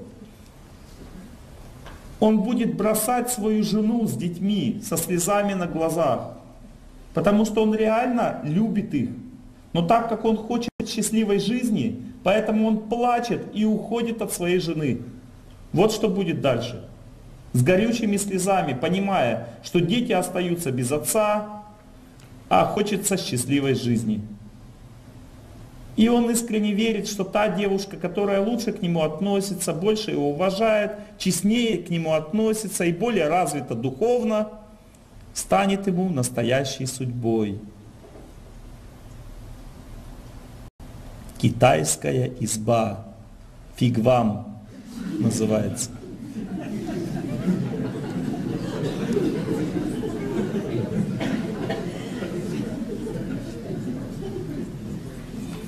И этот фиг вам, он не сразу проявляется. Сначала эта изба кажется дворцом, но потом фиг вам приходит жизнь постепенно. Ему придется бросить, несомненно, эту девушку. Потом дальше раскаяться в том, что он бросил свою семью, назад ему возвращаться не будет хотеться, потому что он будет надеяться, что все-таки следующая девушка будет нормальной. И он будет опять следующую. И веды сравнивают такую жизнь с тем, как обезьянки прыгают с одной ветки на другую с целью позаниматься с другой обезьянкой сексом, а не с этой. Бесконечные страдания ждут человека, который живет такой жизнью. Бесконечные страдания. Женщина обычно не уходит к другому мужчине для того, чтобы начать новую жизнь, чтобы лучше была семья. Женщина так не делает. Потому что у нее сердце, женское сердце чувствует истину. Женщина обычно уходит от своего мужа, потому что она уже не может больше дальше так жить. Она уходит, потому что она замучилась. И она не понимает, что она замучилась-то не от своего мужа, а от самой себя. Она просто не знает, как жить правильно, и поэтому она замучилась. Поэтому женщины должны учиться жить правильно. Сначала принять свою судьбу, мужчина должен принять свою судьбу, женщина должна принять свою судьбу. И потом дальше, следующий шаг в своей жизни, надо изучать, что такое любовь. Теория здесь не поможет. Я вам теорию расскажу, это хорошо. Но надо изучать, что такое любовь. И изучение, что такое любовь, означает одну только вещь. Надо понять, чем любовь отличается от влюбленности. Потому что у нас всегда есть в психике грезы, что любовь означает, что меня будут уважать, ценить и так далее, и ко мне будут очень хорошо относиться, и ласково, и нежно. Мой ласковый и нежный зверь, я так люблю тебя, поверь, мой ласковый, мой ласковый и нежный зверь. Потом ласковый и нежный пройдет, а зверь останется. Посмотрим, какие песни тогда ты запоешь. Понимаете, любовь это не труднодостижимая вещь в жизни. Вот легко ли найти настоящего друга? Мой опыт жизни показывает, что пока человек не разовьется как личность, у него не будет настоящих друзей. Потому что настоящий друг может прийти в жизнь только настоящего человека. Невозможно иметь настоящего друга надолго, если ты сам не настоящий. Точно так же настоящую жену. Невозможно иметь человеку, который сам не развился как личность.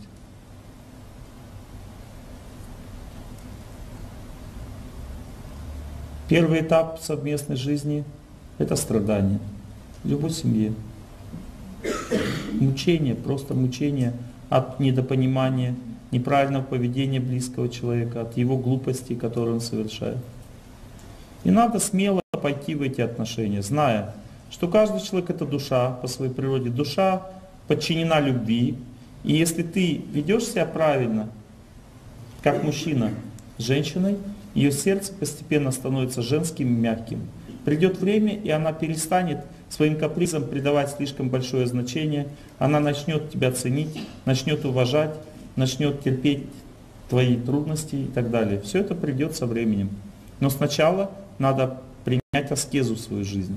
Надо захотеть учиться любить. А означает,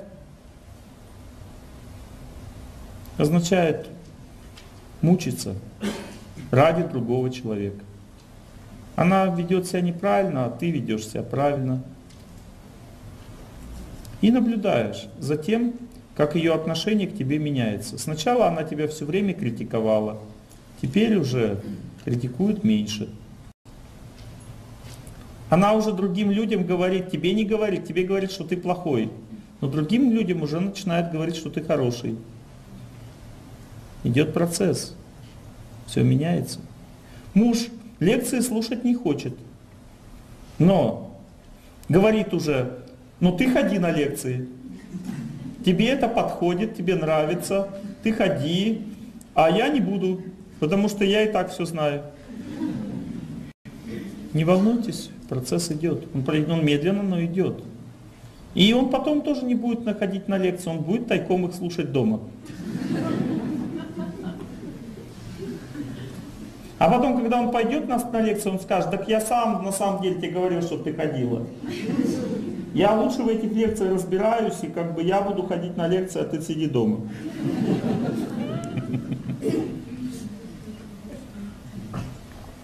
Потом, когда пройдет время, мужчина все равно останется мужчиной, женщина останется женщиной, но отношения станут другими. Таков путь, понимаете? Надо его просто признать. Сейчас мы с вами будем практически работать над темой практически. У нас есть некоторое время. Я на все записки отвечу, потому что у меня в Краснодаре есть... Каждую неделю я читаю лекции. Одну неделю я тематическую лекцию читаю, а другую неделю ответы на вопросы. И у меня уже есть с Москвы вот куча записок там в чемодане лежит. Я на все вопросы отвечаю. Вопрос только когда. Вопросов просто много. Объясните разницу между словами ум и разум и интеллект. Современное общество под понятием интеллект понимает ум.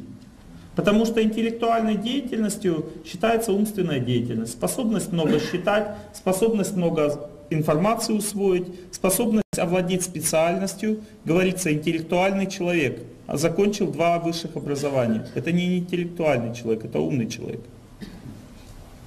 Потому что разум отличается от ума тем, что разум признает истину, которая касается его судьбы.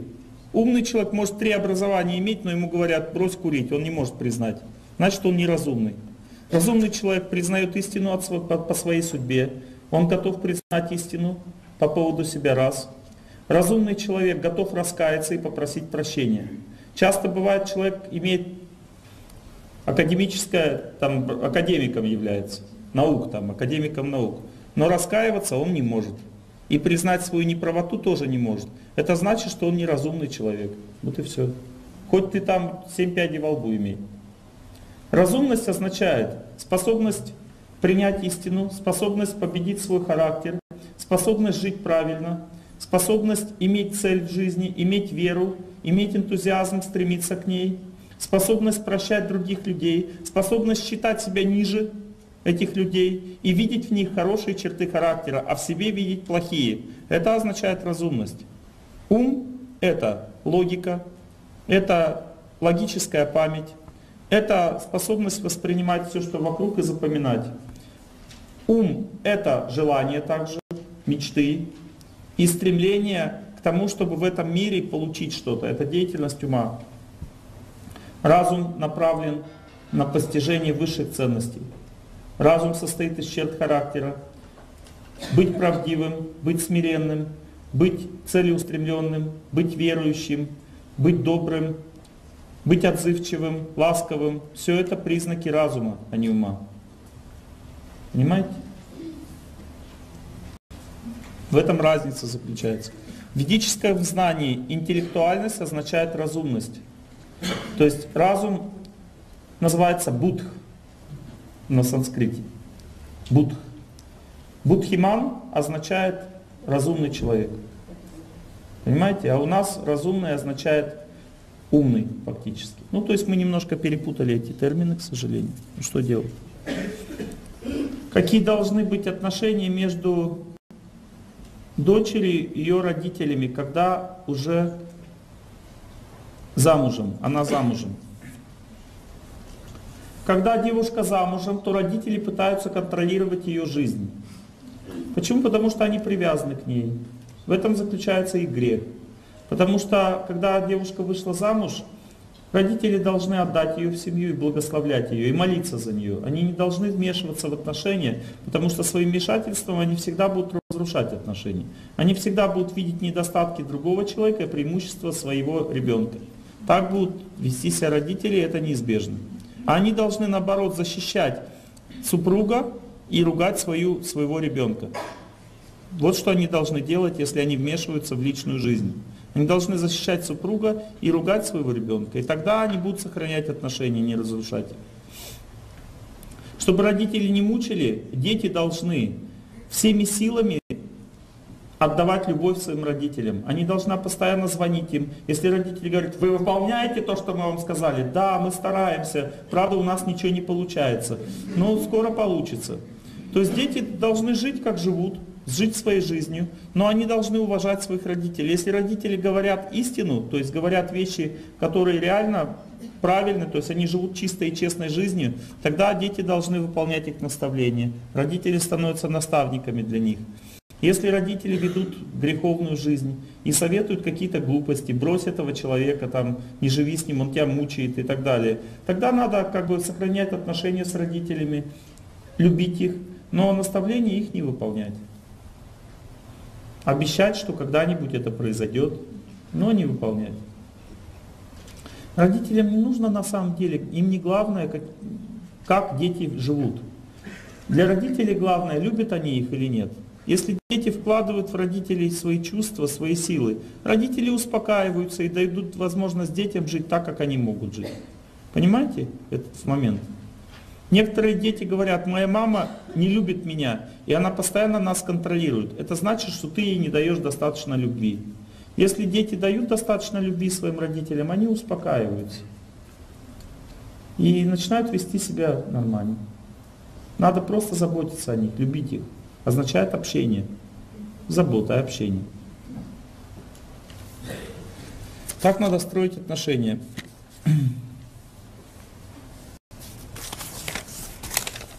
Что надо делать, чтобы муж стал больше ухаживать за своей внешностью? Стал более порядочный. На любые замечания реагирует в грубой форме. А зачем какие замечания? Мужчина так психика устроена, он видит цели, не видит препятствий, понимаете? У него нет понятия внешности, он не знает, что такое внешность. Если ему зеркало покажет, он видит зеркало.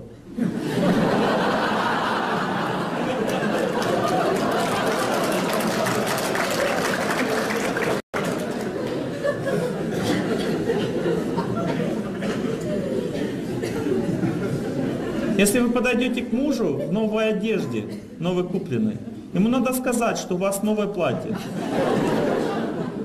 Если вы не скажете, то он будет смотреть на вас и говорить, что ты сегодня красивая такая.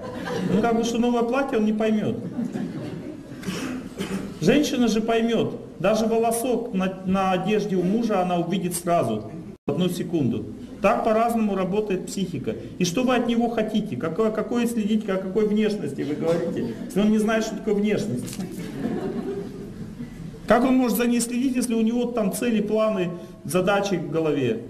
Женщина сама должна влететь, следить за внешностью. Муж на работу уходит, уходит, она должна все убрать у него с одежды лишнее, все волосы, там, всю резину, там, все, что там нависло, она должна все снять. Вот, она должна причесать его, так, проследить утром, чтобы он побрился, помылся, чтобы он, и вытер все, что нужно вытереть с утра. Мужчина так, он, понимаете, у мужчин так психика работает. А если он сам бреется и моется, и как бы он и гладится даже сам, так это значит, что он очень аскетичный человек. Значит, мужчина уже реально развитый как личность. Обычный мужчина, ну, допустим, если он еще не научился носки стирать, допустим, или не научился в чистых носках ходить, это ваша проблема, женщина, а не его. Почему? Потому что мужчина, он, психика в этом направлении, у него не работает. У мужчины психика работает вперед, в атаку, понимаете? Конечно, бывают мужчины, которые постоянно ходят, носки стирают себе, гладят все, там, причесываются, все нормально. Но они работать не пойдут, не надейтесь. Вас устраивает такой муж? Поднимите руку, кого вам два варианта дается в жизни. Первый вариант. Грязный, чумазый любит работать, или чистый, опрятный работать не любит. Кто выбирает чистый, опрятный, поднимите руку, женщины. Вы выбираете, работать не любит. Ну, значит, у вас такая судьба. Кто выбирает грязный, чумазый, любит работать, поднимите руку. Вот это нормально. Это нормальное понимание вещей. Чумазый работать не любит.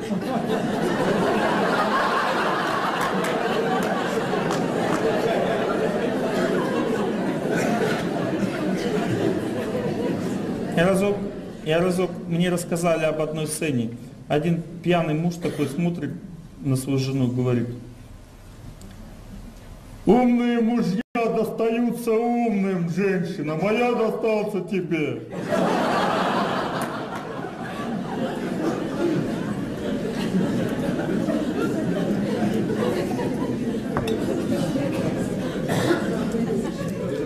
Надо принять все, все, что жизнь дает, надо принять. Не- ну я тоже, я понимаю, что вы не Я просто говорю, надо принять и все. Что делать?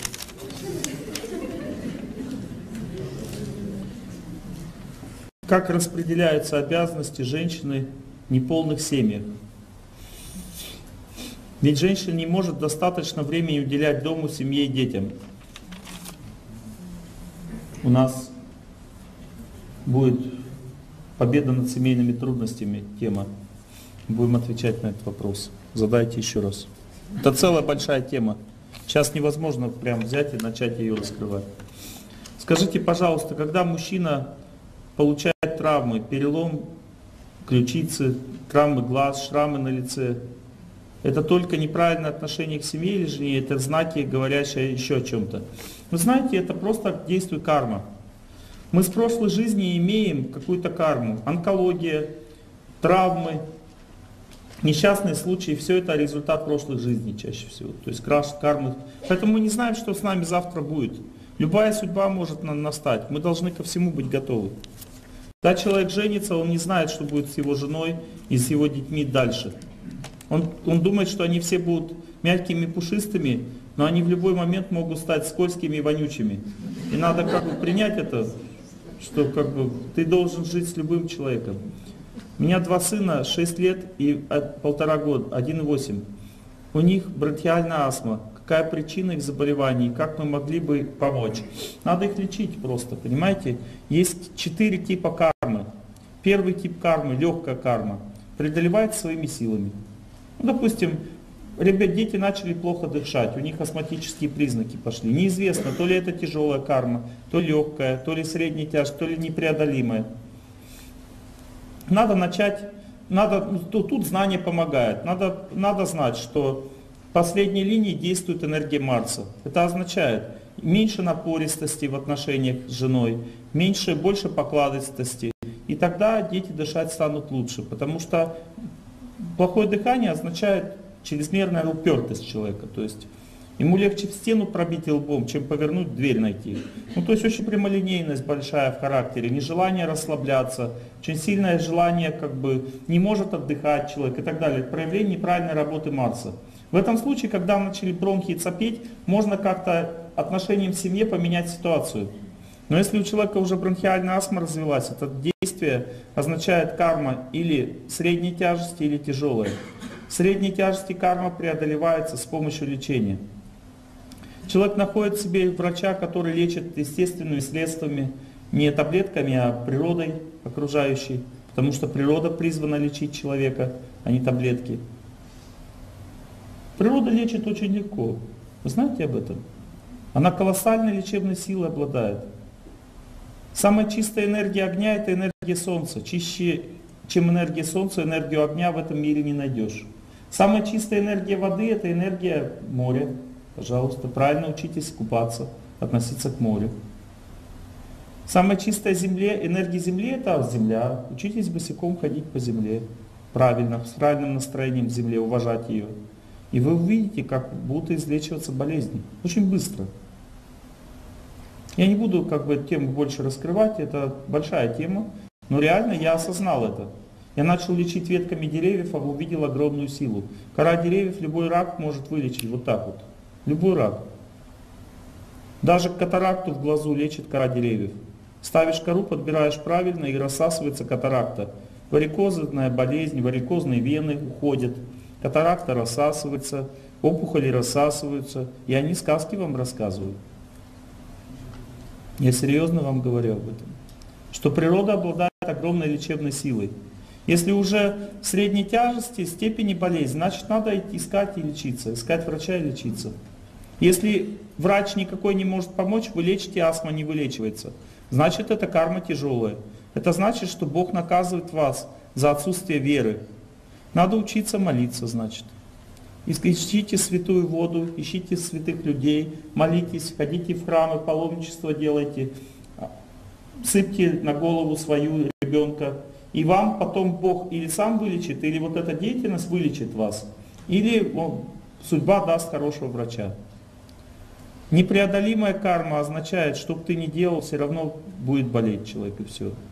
Это указ на такую карму, некоторые болезни указ, допустим, ДЦП.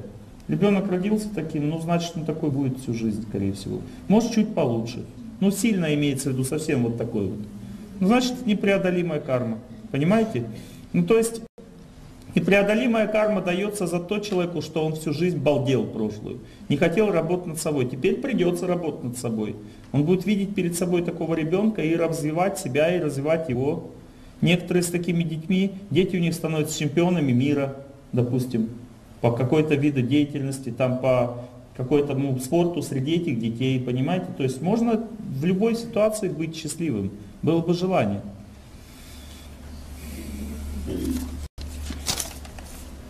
В браке живем полтора года. Родилась девочка, муж стал гулять. То есть все, нравится человек. Это первый этап отношений. Потом перестает нравиться, приходит время и не нравится уже наступает этап отработки кармы в отношениях. Люди начинают мучиться друг с другом. И если они начинают жить правильно, то в этих мучениях у них рождается знание, что такое семья, любовь и так далее. Наступает реализация, опыт, понимание, что такое личная жизнь и так далее. Но интересно знать, что когда начинается ребенок, зачатие ребенка происходит, еще более тяжелая карма в семью входит, еще больше испытаний. Не меньше, а больше. И как эти испытания интересно развиваются. Когда начинается ребенок, то в это время, пока женщина вынашивает ребенка, семья проверяется на прочность. В ней становится больше эмоций, больше трудностей. Потом, когда рождается ребенок, он приносит удачу в семью. Рождается ребенок, все успокаивается, отношения улучшаются, и люди начинают балдеть. Им хорошо становится, начинают балдеть. Если в этом балдеже они себя не контролируют, то обычно рождается ребенок, и мужчина начинает гулять. Это значит, что женщина, есть еще одна причина тому.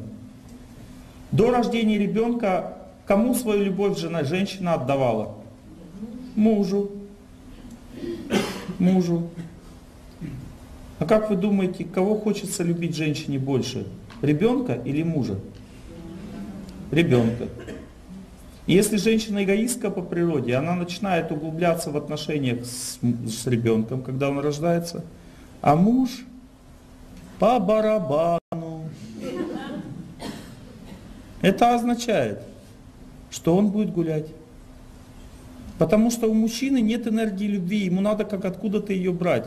Он к жене со своей энергией любви лезет, она говорит, не мешай, у меня ребенок. Иди вон, пошел вон. Мне некогда, у меня ребенок. Ты должен это понимать. У нас теперь ребенок главное, не ты. Она мужу говорит. А потом ребенку говорит, съешь яблочко, сынок, а то пропадет. Муж придет с работы и пропадет.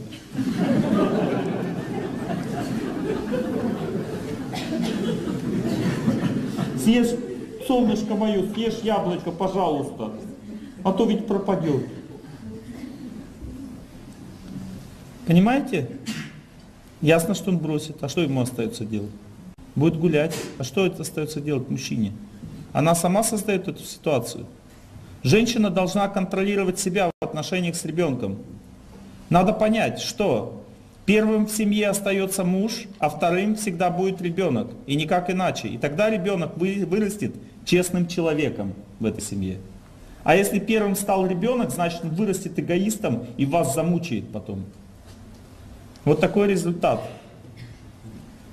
Но еще хорошо, если он вырастет в полной семье. Если женщина на первое место ставит ребенка, то, скорее всего, муж уйдет из семьи. И это может случиться очень скоро.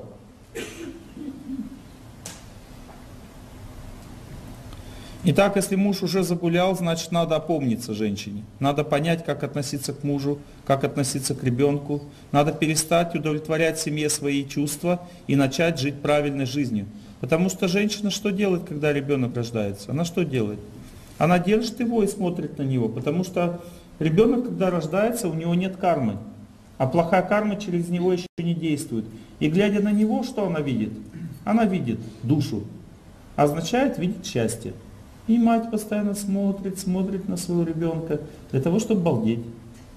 Она вытягивает из него счастье, смотрит на него, наслаждается.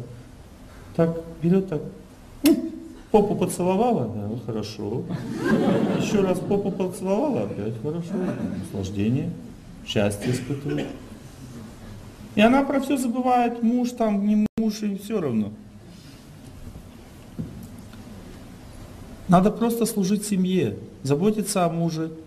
Заботиться о ребенке не означает балдеть от него. Счастье от ребенка будет само по себе в жизни приходить. Ведь никто не против этого счастья. Оно должно быть. И хорошо, что оно есть. Но не надо на нем сосредотачиваться, надо выполнять свой долг. Означает воспитывать ребенка и служить мужу. А не балдеть от ребенка и наплевать на мужа, понимаете? В этом как бы идея. Как неправильно поступать? Надо простить мужу, раскаяться во всем и начать за нем заботиться. Когда человек уходит, близкий человек уходит, надо его притягивать любовью. Формула очень простая. Близкий уходит, надо все простить и тянуть его любовью. Когда он притянулся любовью, надо начать правильно относиться с ним и вызвать в нем уважение к себе. Уважение возникло, тогда можно его воспитывать. И объяснить ему, что неправильно он сделал, что меня бросил. Потом уже, потом, когда его к этому состоянию, к этой кондиции он уже подошел.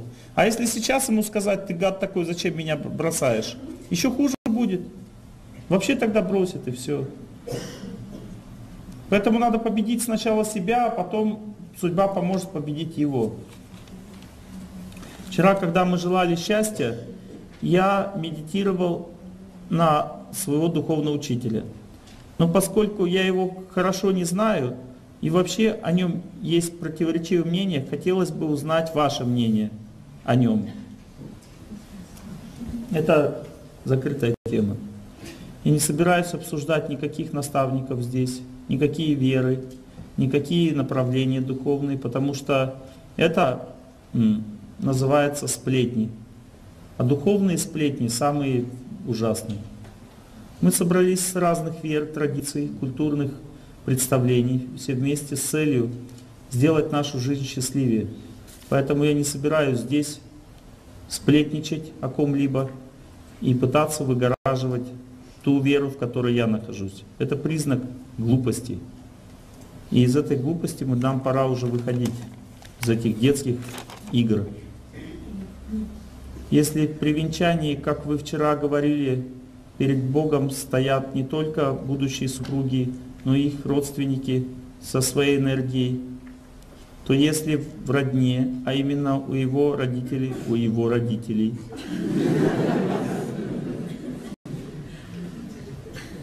заложен гнев, они не хотят этого брака.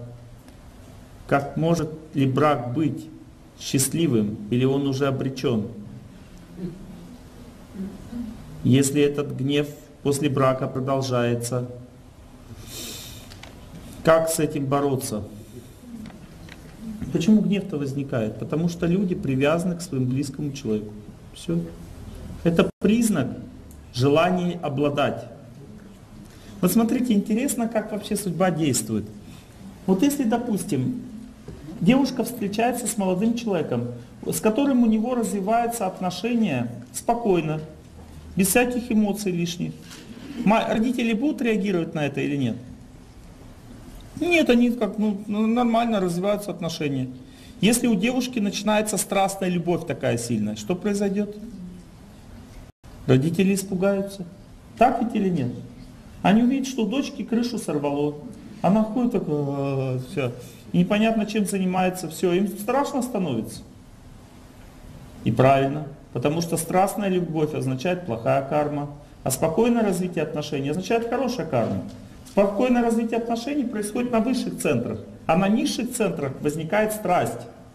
Поэтому-то родители боятся того, что происходит у вас. Но если у вас уже создались отношения, вы должны понять, что перед отношениями надо вкладывать силы не в близкого человека, а в его родителей. Надо реально отдавать свои силы, унижение там и все. Женщина должна унижаться перед родителями своего мужа, для того, чтобы умилостивить их. Она должна печь им пирожки, приходить в гости, слушать все их наставления, кивать вот так головой, целовать маму его, то есть любить папу, гладить его по голове, садиться рядом к нему. К маме доступ закрыт, папе нет. Я сейчас расскажу тактику, что надо делать. Девушка приходит в дом, мама сразу такая, Мама мужа. Ничего страшного. Надо атаковать папу. Надо к нему хорошо относиться, смиренно очень, выслушать его наставления. И он потом жене подает и скажет, хватит против нее выступать, она нормальная. И все это на женщину подействует, она начнет думать. Раз муж так считает, значит в этом что-то есть. Все. А тогда вообще никаких проблем. Если папа так смотрит, а мама нормально, надо с мамой сюсю-мусю, она сама с ним справится, на него даже вообще не обращает.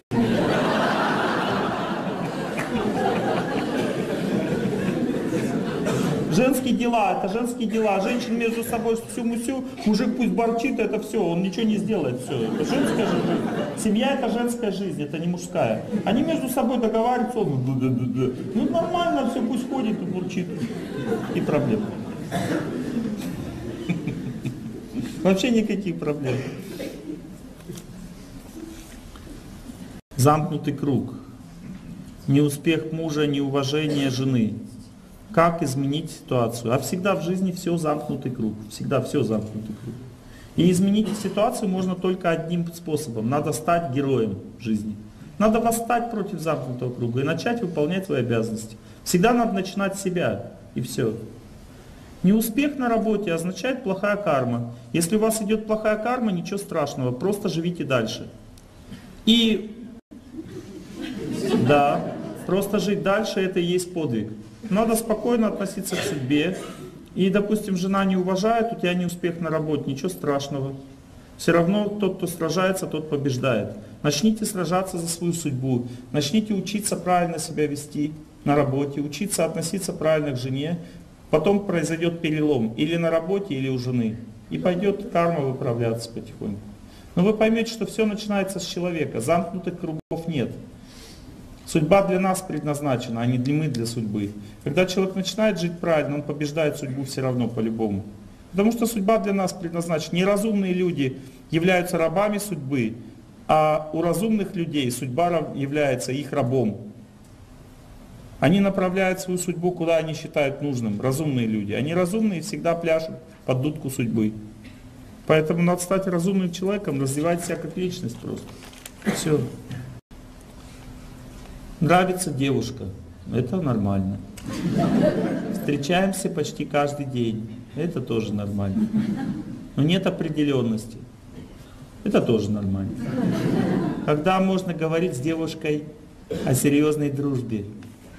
То есть вы сексом хотите с ней заниматься? Серьезная дружба, что значит? Видите, он меня не женитьбе хочет говорить, а серьезной дружбе. То есть о постели. Молодец, девушка, держаться дальше. Если он начнет говорить о серьезной дружбе, надо ему сказать, сначала женитьба, потом постель, брат. Никаких вариантов нет больше. Я честная девушка, а не проститутка. И он будет, у, блин, какая мне досталась классная вообще. Такая возвышенная девушка досталась. Он так будет думать, ничего себе. Надо все-таки попробовать ее в постель затащить. Еще пару раз. Может, на самом деле не такая честная, возвышенная. Может, обычная. Будет пробовать, не получится. Думать, надо замуж брать. Ну, что делать? Таких больше не попадется. Так работает все, система. Когда с ней говорить, ты можешь говорить с ней о более серьезной дружбе сколько хочешь, но она должна отклонять. Вообще серьезные мужчины говорят с женщинами о женитьбе, а не серьезной дружбе. Когда они говорят, когда видят девушка нормальная, все из нормальной семьи. У меня есть книжка о создании отношений, почитайте, там все написано.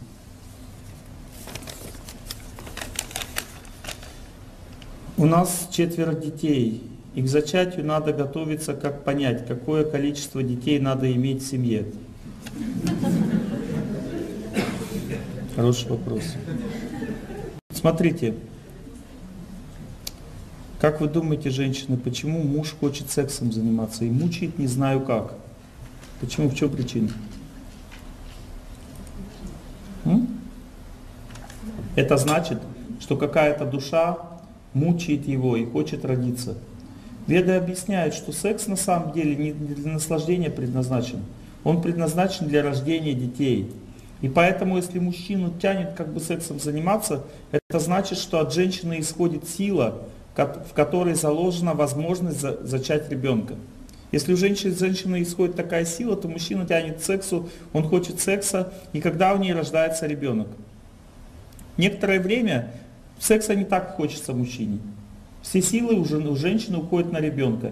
Если она сильнее, чем один ребенок, она может психически с одним справляться, то она расслабляется, и у нее опять начинает энергия идти на мужа, и у него опять колбасит. То есть он, ему опять хочется секса, он мучает опять жену, второй ребенок появляется.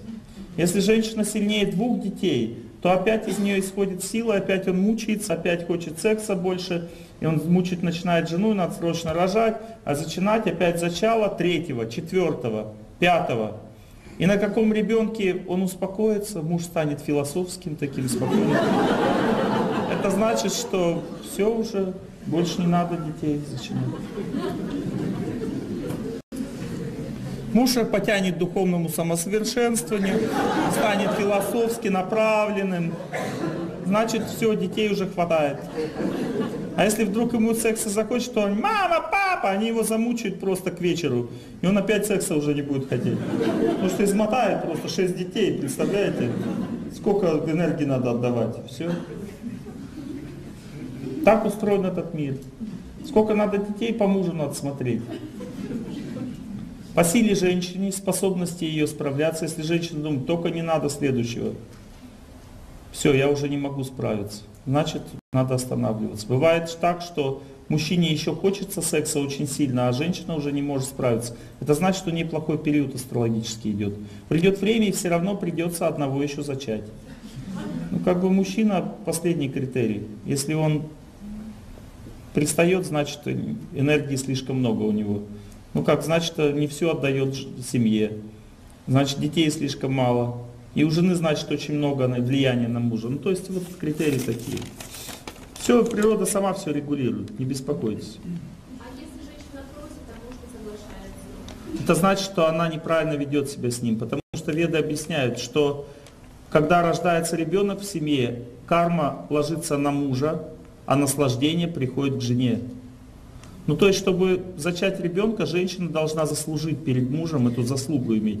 Когда она заслугу имеет перед мужем, тогда сверхдуша мужа говорит, ну, надо подарить ей ребенка. Ну а что делать? Он хороший человек. Понимаете? И ему на мужа нагрузка больше ложится, когда ребенок появляется в семье. Поэтому мужчины виляют от этого, пытаются, чтобы детей не было. Потому что они чувствуют, что будет тяжелее жить. А женщина хочет ребенка, потому что знает, что ей будет лучше с ребенком. И она должна заслужить, она должна служить мужу, как не знаю как, очень стараться изо всех сил. И потом, когда он уже сдается, тогда зачинать ребенка. Потом опять служить ему, стараться изо всех. Еще одного потом. Вот так, такая система. А если уже женщина, ну, там, имеет уже года и там, четвертый, пятый, как тогда делать? Муж не хочет, и жена... Все, значит, тогда концерт закончен. Все, не надо больше, значит.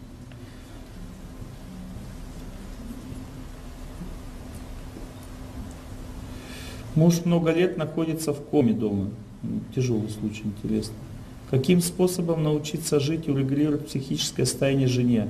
Когда муж был здоров, это был близкий друг, защитник, кормилец, дорогой человек.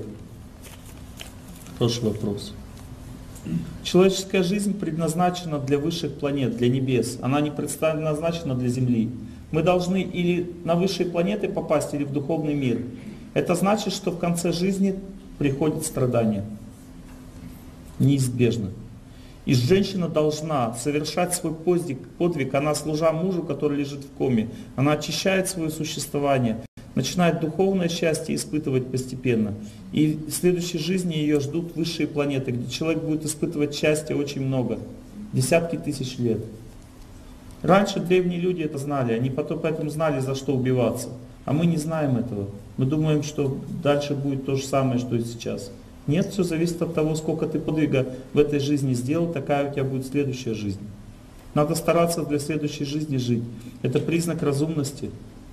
Я вам приведу один пример.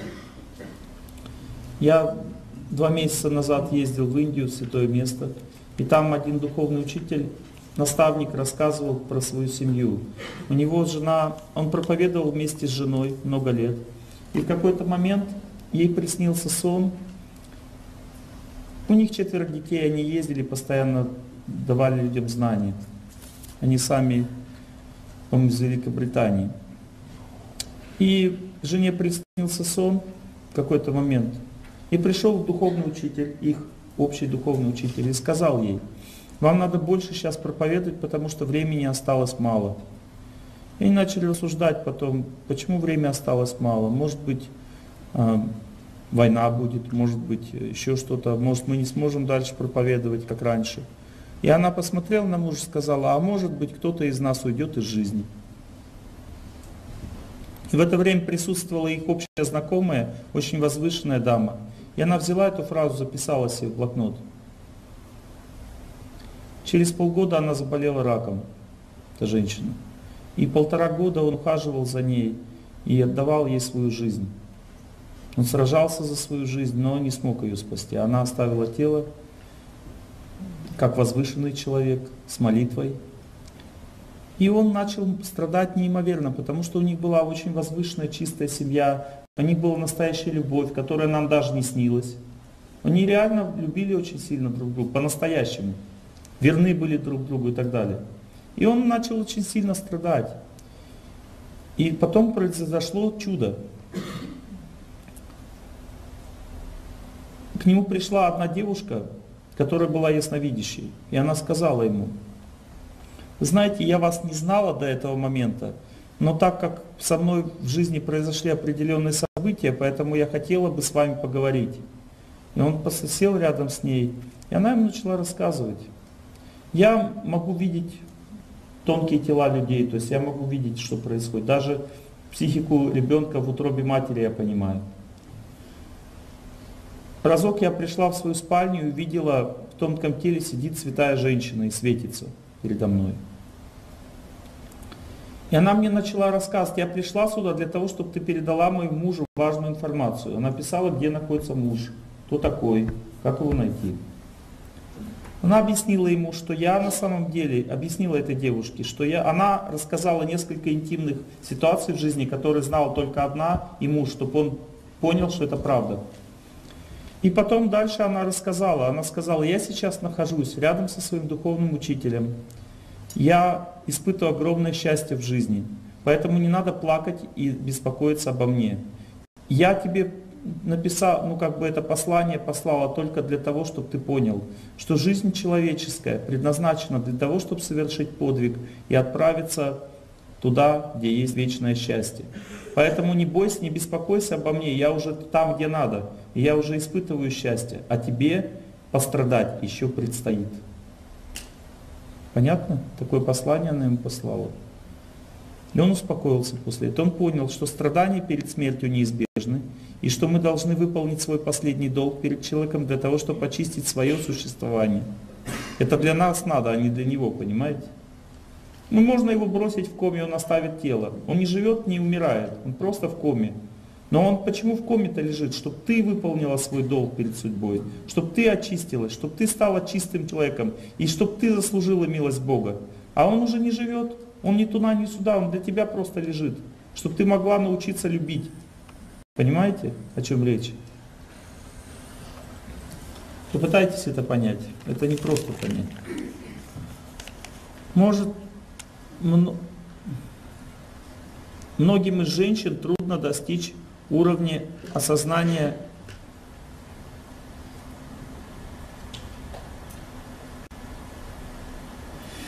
Я русский человек, но иногда пишут тяжело по-русски, я как бы Может кто-то прочитает другой, то есть я не могу прочитать. Слушай. О, хорошо написали. Почти печатными буквами. Я с мужчиной живу один год. Мы не, не замужем. Мой, мой муж уже был замуж, женат.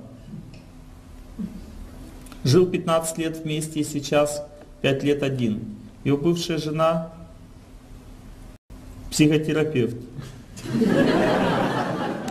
И он ходит к ней консультироваться.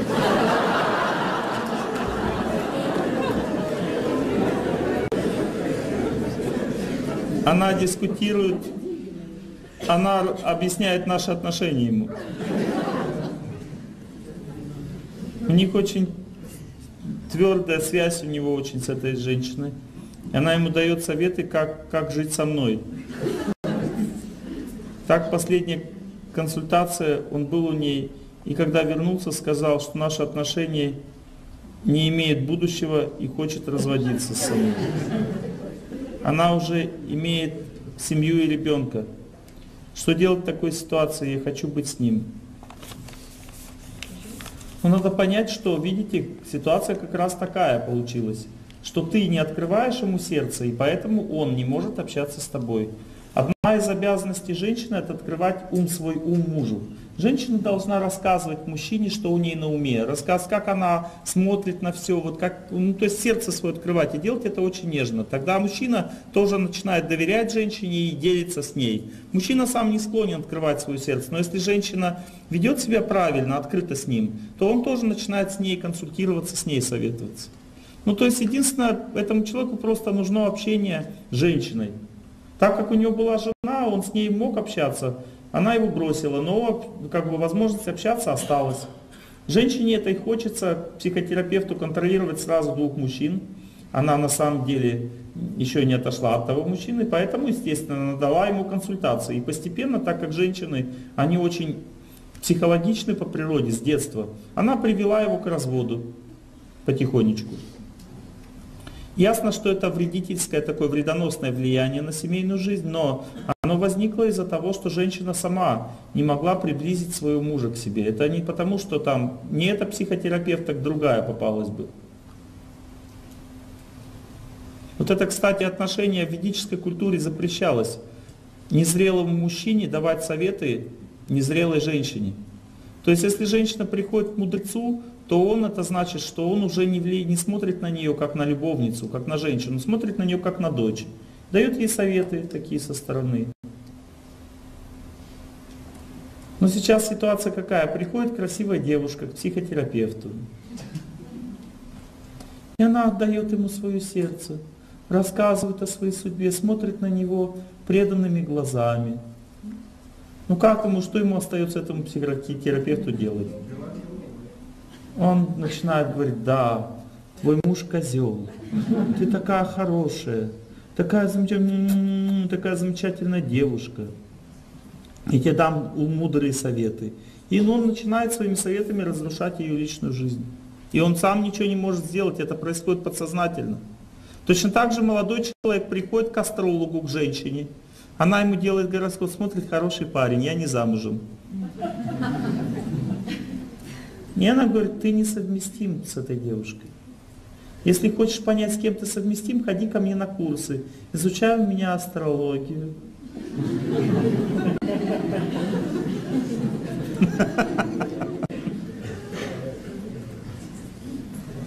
Понимаете, нет?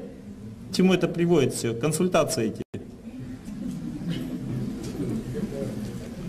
В ведической традиции считалось, если даже старший консультирует женщину, то рядом с ней должен сидеть ее муж. Исключение составляет семейный гуру.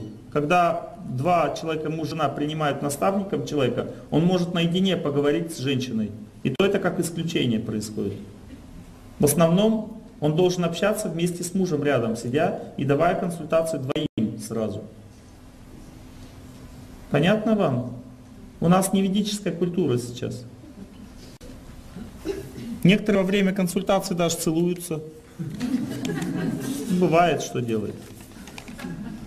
Мне одна женщина рассказала историю, как ей делали массаж, мужчина делал массаж, и закончился массаж тем, что он занялся с ней сексом.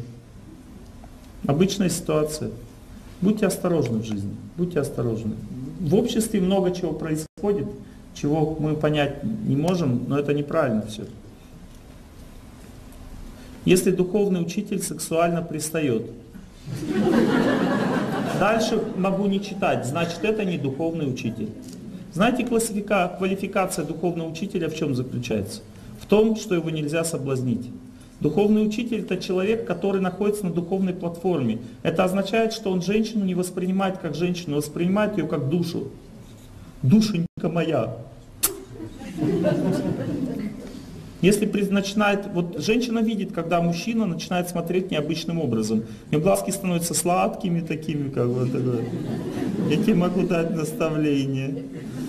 Когда он начинает так смотреть, все, это не духовный учитель сто процентов. Надо оставить с ним отношения, поставить стенку, не ходить, не консультироваться, не общаться. Этот человек не поможет в жизни, сто процентов. Он только разрушит жизнь и все. Сколько бы он возвышенных истин не говорил, как бы он возвышенно не жил, все определяется по поведению человека. Если он начал так себя вести, все, дальше до свидания. Стоит ли идти в такую духовную школу? А вы поймите такую вещь на самом деле, что духовная школа здесь ни при чем.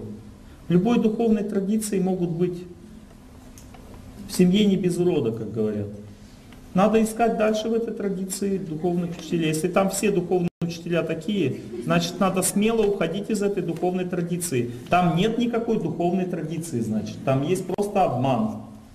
Обман или нет, это познается очень легко, по поведению старших. Если старшие способны вести себя правильно, значит есть духовная традиция. Если не могут, значит нет такой традиции в этом месте. Но это не значит, что Писание неправильное.